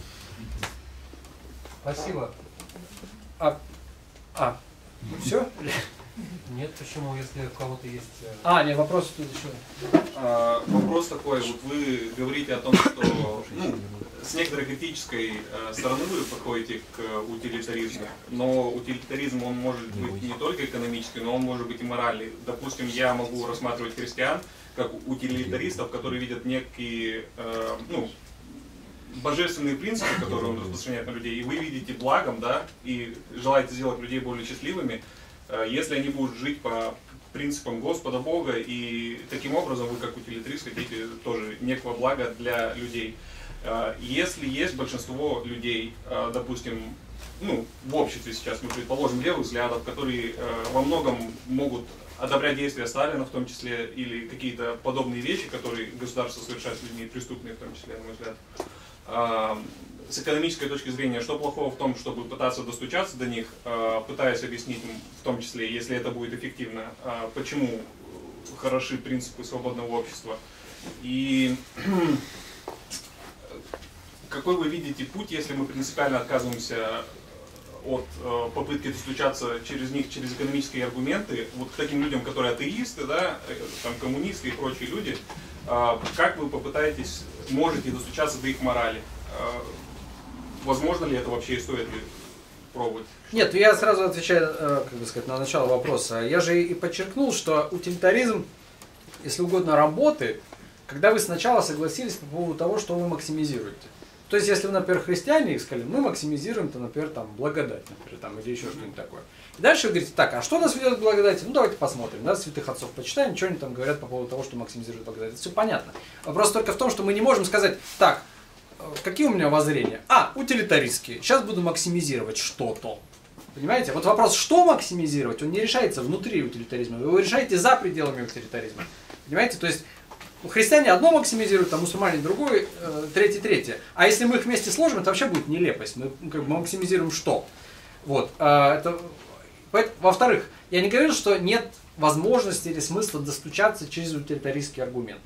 Большинство либертарианцев этим и занимается, собственно говоря, там показывая, что вот государство тут неэффективно, там неэффективно, там Мизес, например, да, э, который прямо говорит, я Мизес же прямо говорит, я вообще вам не пропагандирую капитализм, я просто вам объясняю, что если у вас есть цель, например, там процветание, то социализм к этому не ведет. Просто по экономическим причинам, да? А капитализм ведет. А дальше вы сами выбираете, нравится вам это или не нравится. Поэтому я не говорю, а, что так нельзя делать. Я говорю, что это мне просто неинтересно. То есть мне не, это, это с точки зрения политической философии неинтересно.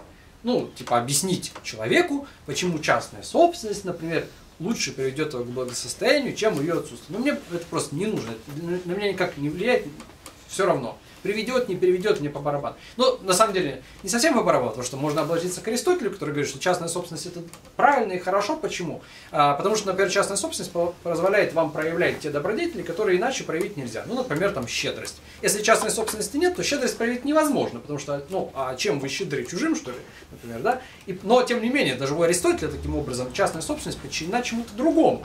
Добродетели, да, например, добродетели. Вот добродетель это важно, а частная собственность это инструмент. И поэтому это не вопрос того, что так нельзя делать, так не надо. Я говорю просто, что мне это неинтересно. И это часть либертарианской, так сказать, деятельности. Просто у меня, как у человека, который в большей степени занимается вопросами политической философии, не вызывает личного какого-то... Ну, не считаете ли вы, что вы ограничили свой ну, инструментарий, да, возможно, который был бы эффективен, в том числе для того, чтобы морально на них потом воздействовать, вот объясняя им про добродетель? На кого им-то? На кого я воздействую? Ну, там нас читает 5000 человек. Э, э. Ну, ну, в смысле, я, понимаете, я, мне, вот, как бы сказать,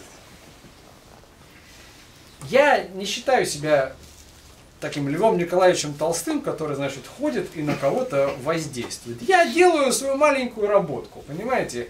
Кто-то делает более эффективную работу лучше, пожалуйста, прекрасно. Я просто занимаюсь тем, что вот чем я могу заниматься, э, чем я считаю нужным, что для меня лично важно и важно для таких, как я. Кто-то лучше делает там больше, пожалуйста, прекрасно. Просто я честно признаю свою ограниченность. А, вот, и в ней пребываю. У человека есть ограниченное количество времени, там, сил и так далее. Вот я объяснять, не знаю, сталинистам, что им нужен капитализм, ну, для меня это как бы просто нелюбопытное занятие. Тем более, что я не уверен, что всем нужен капитализм. Тем более сталинистам. Дион Юрьевич, большая благодарность к вам, что вы приехали в Санкт-Петербург. Я надеюсь, что вы еще чаще будете к нам приезжать. Просим также Андрея Сергеевича Быстрова, прошу, чтобы передали, чтобы он посетил, посетил наш город. Может быть, а, студенчество инициативное тоже будет какой-то деятельностью здесь заниматься. Мы ждем. Вопрос такой, как вы относитесь к позиции, что государство местами защищает человека от более страшных идеологий? Ну, приведу такой, не знаю, насколько подходящий пример, а, когда к апостолу Павлу подошли фарисеи и хотели судить его, он сказал, не трогайте меня, я гражданин Рима. И они не смогли ничего сделать ему. И сейчас в России, как ни странно, как многие говорят, у человека есть достаточно много фундаментальных свобод. А, так я бы назвал это индивидуальная или, может быть, общинная сецессия. А, человек распространены такие субкультуры, как криптосубкультура, когда человек может какой-то информацией свободно делиться, достаточно безопасно. Распространено одно из сильнейших движений в мире – это семейное образование в России, в России и в Америке. То есть мы можем передавать другому поколению свои какие-то ценности, идеалы. По России живут э, общины и люди, которые исповедуют разные э, религиозные, традиционные убеждения и довольно спокойно себя чувствуют и местами счастливы, что живут в России, потому что она защищает их от местами гораздо более страшных идеологий. Вот первый вопрос, как вы относитесь к такой позиции? И второй вопрос, вот я надеюсь, что вы ответите, почему вы э, такое внимание уделяете сну Сципиона, что же ему все-таки снилось? Спасибо. Да, но все-таки сон Сципиона я вас адресую э, к самому э, Цицерону, э, в котором, это, собственно, сон и описан в диалоге о государстве. Ну, о государстве, о республике, естественно. Вот, поэтому я бы не хотел сейчас погружаться в, там, в интерпретации э, этого текста, который сам по себе сложный, проблемный и так далее. Вот. А возвращаясь к первому вопросу, да, так я то есть просто для меня это не вопрос государства или не государства. Это вопрос вот фактических обстоятельств. Конечно, я рад, что многие вещи в России еще возможны, например, которые там невозможны уже в других странах. А, и ряд процессов, которые в других странах происходят, ну, процессы связаны даже, например, там, с гендерными переходами, вот этим всем, сатанизмом вот этим всем, что они у нас еще не набрали, э, скажем, э, такую скорость. Другое дело, что я, понимаете, в чем проблема? Я полагаю, что это не благодаря, а вопреки. То есть, иначе говоря, это потому что мы здесь э, все еще русские и православные в значительной степени люди, поэтому у нас это не происходит, а не потому, что у нас такое замечательное государство. То есть я полагаю, что как раз у нас государство, как ни странно, ну не буду сейчас подробно вдаваться, на самом деле понимает, так сказать, лучшие практики а, других стран и действует вовсе не исходя из интересов там традиционных, там, семейных и так далее, что это риторика. Вот что русские люди все еще могут в наших условиях себя хоть как-то от всего этого защищать, это да, и это здорово, и я всячески рад тому, что я родился и живу в России. А, но просто я, это еще одна как бы такая ловушка, да, отождествлять, что это все происходит потому, что у нас, значит, есть партия правительства, а, которая вот, значит, нас всех а, щедро опекает и, значит, защищает от, э, от тлетворного влияния Запада. Это, эта же самая партия правительства в 90-е с удовольствием бы делала все то же самое, что делают на Западе, если бы туда приняли. Но когда их туда не приняли, начали использовать риторику, значит, что мы такие вот все традиционные. Но сам, для меня вот очень характерный пример, понимаете, это... Ладно, даже не хочу про это говорить. Ну, в общем, я хочу сказать, что традиционность нашего государства сильно преувеличена. Оно традиционно, пока это риторически нужно для того, чтобы вот себя противопоставлять значит, мировой закулисье и так далее. Но это все не благодаря государству, благодаря русским православным людям. Спасибо большое за лекцию. Говорили, что вы не консерватор, но... А, собственно, у меня вопрос. А, в середине лекции где-то вы сказали, что индивидуализм произошел примерно из того же либерализма, что и условно супер государство фашистского толка. Э, у меня вопрос, откуда вообще такое противоречие возникло, поскольку суперфашистское государство, оно как раз-таки противоположно индивидуализму, и означает ли это, что индивидуализм в своей либеральной такой э, форме, конструкции э, противен либертарианству? А, ну да, ну а логика тут очень простая. Чтобы ее э, схватить, можно почитать, мне кажется, самый в этом смысле честный и последовательный текст, это, собственно, Левиафан, в котором четко объясняется, что если вы а, сводите человека до феномена индивида, то есть что это просто вот такая монада, вот просто человек сам по себе, то никакой другой формы коммуникации между этими людьми, кроме как опосредованной сильным государством, которое все контролирует, быть не может. Ну, потому что это просто ничто. Человек это просто ничто. Это просто единица, которая выступает в качестве, ну, там, на голосовании, например, да, это один, там, плюс один и так далее. И в этом смысле опосредуется ни религией, там, ни системой этики, потому что а какая этика, если это просто индивид, да, там, ничем. Ни семьей, потому что а какая семья, если ты просто всегда все равно один. Ну, тебя родили там как животное там, или что-то такое, ты сам по себе. Есть только способ защитить всех друг друга от максимального насилия с помощью государства. И поэтому, но это как бы первый шаг. А второй шаг – ну хорошо, а если вы действительно все такие индивиды и нет никакого фундамента, стоящего за вами, а почему вы вообще должны беспокоиться о том, что с вами происходит? Так давайте вас отправим в концлагерь, например. Ну и что? А что произойдет? Ну просто еще одного уничтожили. Ну было 8 миллиардов, стало 7 миллиардов 999, ну и так далее. То есть нет никакого э, фундамента, к которому мы бы обратились и сказали, Зачем? За что? Почему? А кто вы такие, чтобы это спрашивать? Да просто, вы просто единица. Вы же сами согласились быть просто единицей на выборах. Вас просто считают, как скот. Типа, за этого проголосовало там, 14 миллионов, за этого 14 миллионов один, например. Просто посчитали. Вы ничем друг от друга не отличаетесь. Просто цифры, как в бухгалтерском учете. А, и, соответственно, когда приходит к власти, про это многие писали примитивно к либералам, например, там в Германии, когда к власти начали приходить национал-социалисты, а либералы ничего не смогли сделать. Почему? А потому что непонятно, а за что они конкретно выступают. Национал-социалисты приходят при помощи демократических процедур. А, а что вы собираетесь защищать-то? Что, что вы индивиды? Так мы признали, что вы индивиды, мы вас посчитали, вы проголосовали. То есть нет ничего, за что либерал выступает содержательно. Он выступает за то, чтобы другой имел право там что-то там придерживаться. Ну, пожалуйста, придерживайтесь. Но нет никакой ценностной системы, которую можно было бы противопоставить ну, например, тому же, не знаю, национал-социализму, условно говоря. И никто ничего не противопоставил. Потому что не за что бороться. И поэтому либерал очень легко становится, например, там левым. Почему? А потому что у левых есть ценностная система. Ну, какая-никакая, но во всяком случае есть. Да, они начинают говорить, нет, ну вот там так и сяк. И либералы поэтому очень легко, там, э, ну, собственно, в 20 веке это характерный пример, переходили вот, так сказать, вот в эту сторону, да, потому что у левых есть повестка, им есть что сказать. А, а у либер, либерал просто человек, который застрял, так сказать, между... Э, э, он не туда и не туда. И поэтому он в этом смысле просто не несет никакого положительного тезиса, потому что там все релятивно, да, там все относительно, ну, каждый сам выбирает для себя, то есть он ничего не говорит в конце концов. И поэтому за него скажут другие. Ну и, собственно, и говорят.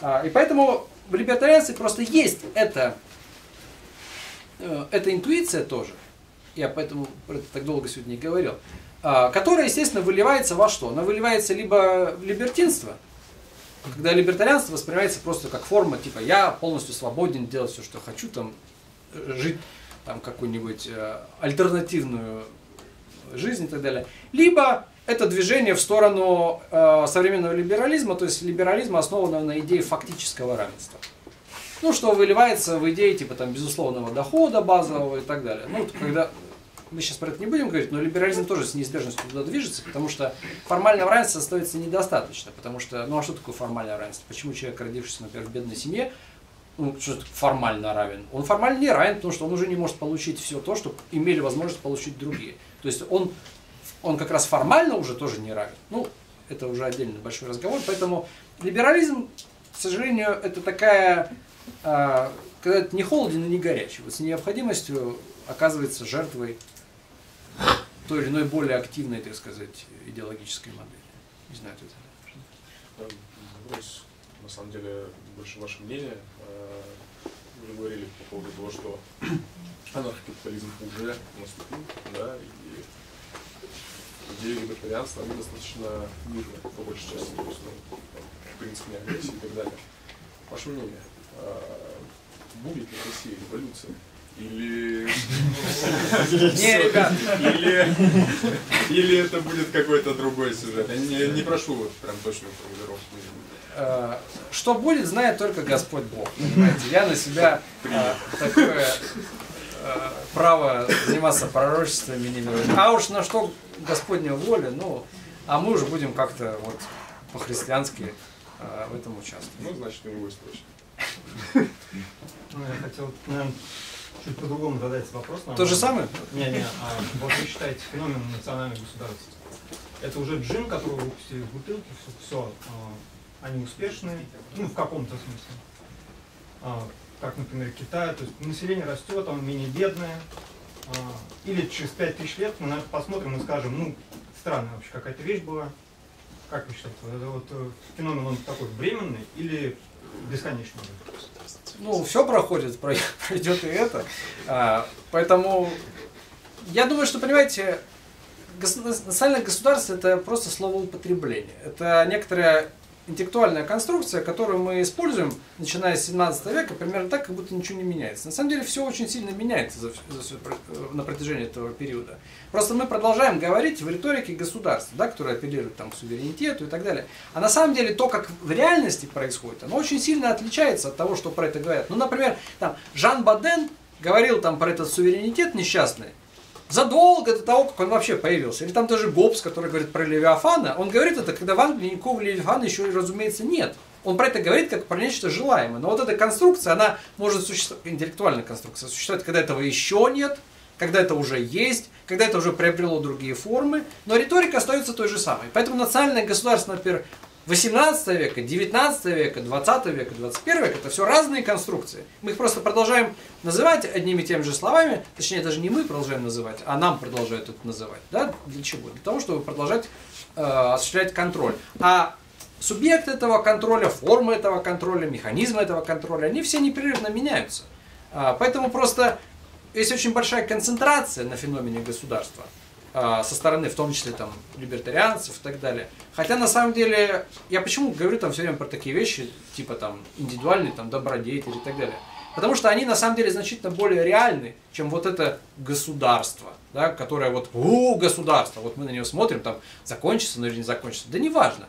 Важно, что я сегодня делаю. А закончится, ну, оно может продолжать называться так, а будет, а будет контроль еще похлеще или он исчезнет. Ну, короче, Понимаете, я просто не концентрируюсь на этом феномене, потому что там, допустим, не знаю, англичане и американцы там с 70-х, 80-х пишут, например, про феномен того, что называется hollowing out of the state, то есть выхолащивание, когда типа мы говорим, вот, суверен, монополия, а на деле, если посмотреть, куча функций передается как раз разным негосударственным агентам, например, которые действуют как бы от имени государства, на самом деле кто не избирал, а им просто как на аутсорс там выдают разные функции. То есть, а вот этого субъекта там из 18 века, там Левиафан 19 века, его просто не существует, например. Ну, это с точки зрения там вот э, левой критики того, что называется governance.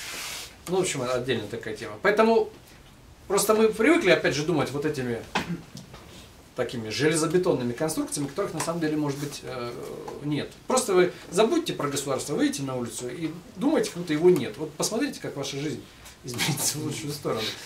Ну или в худшую. Спасибо. А, можно вопрос о либертарианстве. А, можно ли сказать, что это не политическая философия? Если да, то что это такое?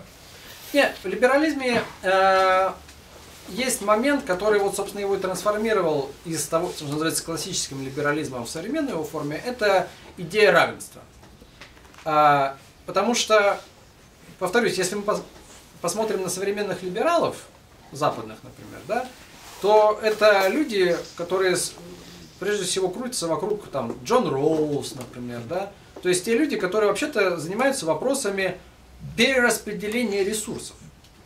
То есть у нас вот продолжают там, в 21 веке в России все еще говорить про каких-то таинственных либералов, которые там страшные капиталисты, там, их просто не существует в мире. Их, этих людей нет. Такого либерализма в мире нет. Современный либерализм это последовательное развитие идеи о равенстве. Ну то есть, что имеется в виду? Как он, либерализм возникал? Да, это из критики фундаментального неравенства людей. Да, что вот есть феодальные привилегии, есть там какие-то князья, есть крестьяне, это все дело нужно разрушать. Первым шагом было формальное равенство. Да? Давайте уничтожим э, феодальные вот эти все э, конструкции, сделаем всех формально равными перед законом и так далее. Сделали хорошо. Но на этом логика-то не остановилась. То есть, если у нас логика равенства, дальше мы задаемся вопросом, как это произошло в 20 веке. Ну хорошо, формальное равенство есть, но мы же видим, например, что люди не равны де-факто значит, у них неравные возможности, например, испытывать счастье в этой жизни. Вот родился ты инвалидом в бедной семье и так далее. Ну, это означает, что проект равенство не реализовано, ну, кажется, что, фе, что феодалов нет. Но зато сейчас есть капиталист, например, там, богатей какой-нибудь там или еще что-то, а равенства нет. Так значит, надо идти дальше. Ну, и, соответственно, возникает современный либерализм, э, который исходит из того, что нужно перераспределять. Ну, сейчас не буду там... там ну, вот Джон Роллс, сам такой яркий пример либерализма второй половины 20 века. Но это еще до Ролза, естественно, началось. Даже в 19 веке, на самом деле, либерал, например, очень многие выступали с большой критикой идеи наследования. Ну, потому что вопрос, если э, мы все равны, и если каждый должен получать, как бы сказать, по заслугам, что вот он заработал, то с какой стати кто-то что-то получает по наследству? он же ничего для этого не сделал, значит, например, надо от наследования отказаться, допустим, да. И поэтому либералы э, там, в 30-е годы в Америке поддержали Рузвельта, потому что Рузвельт как раз боролся, во всяком случае, с их точки зрения, с социальным неравенством. Да, какой еще рынок, если этот рынок приводит, например, к неравенству? Надо с этим делом бороться. Поэтому, повторюсь, это самое смешное по поводу критики либерализма в России что это придуманный либерализм, которого вообще не существует. Поэтому его содержание, если бы меня спросили, что является содержанием фундаментальным либерализма, это идея, я бы сказал, равного доступа к счастью. Вот я бы так это сформулировал. И на самом деле именно в этих терминах сегодня современный, вот прямо сейчас, левый либерализм и рассуждает. Это вопросы того, как нам обеспечить равный доступ к счастью. И там огромные страшные теории по поводу того, значит, как надо перераспределять не красоту человеческую. Вы же не, не, не заслужили родиться красивым или некрасивым, правильно? А извлекаете из этого благо. Да, красивый, значит, ну и так далее. Вот, поэтому я бы так ответил на ваш вопрос. Наше время подошло к концу. Резюмируем. Ну, спасибо вам, друзья, что вы пришли. Э, читайте книги, покупайте книги. А, а я постараюсь что-нибудь еще такое интересное сделать. И если будете приглашать меня в Петербург, я с удовольствием буду приезжать, выступать, если это кому Спасибо большое. А, ну и подписывайтесь на телеграм-канал Сон Сципиона. Спасибо. Желающие есть что-то подписать?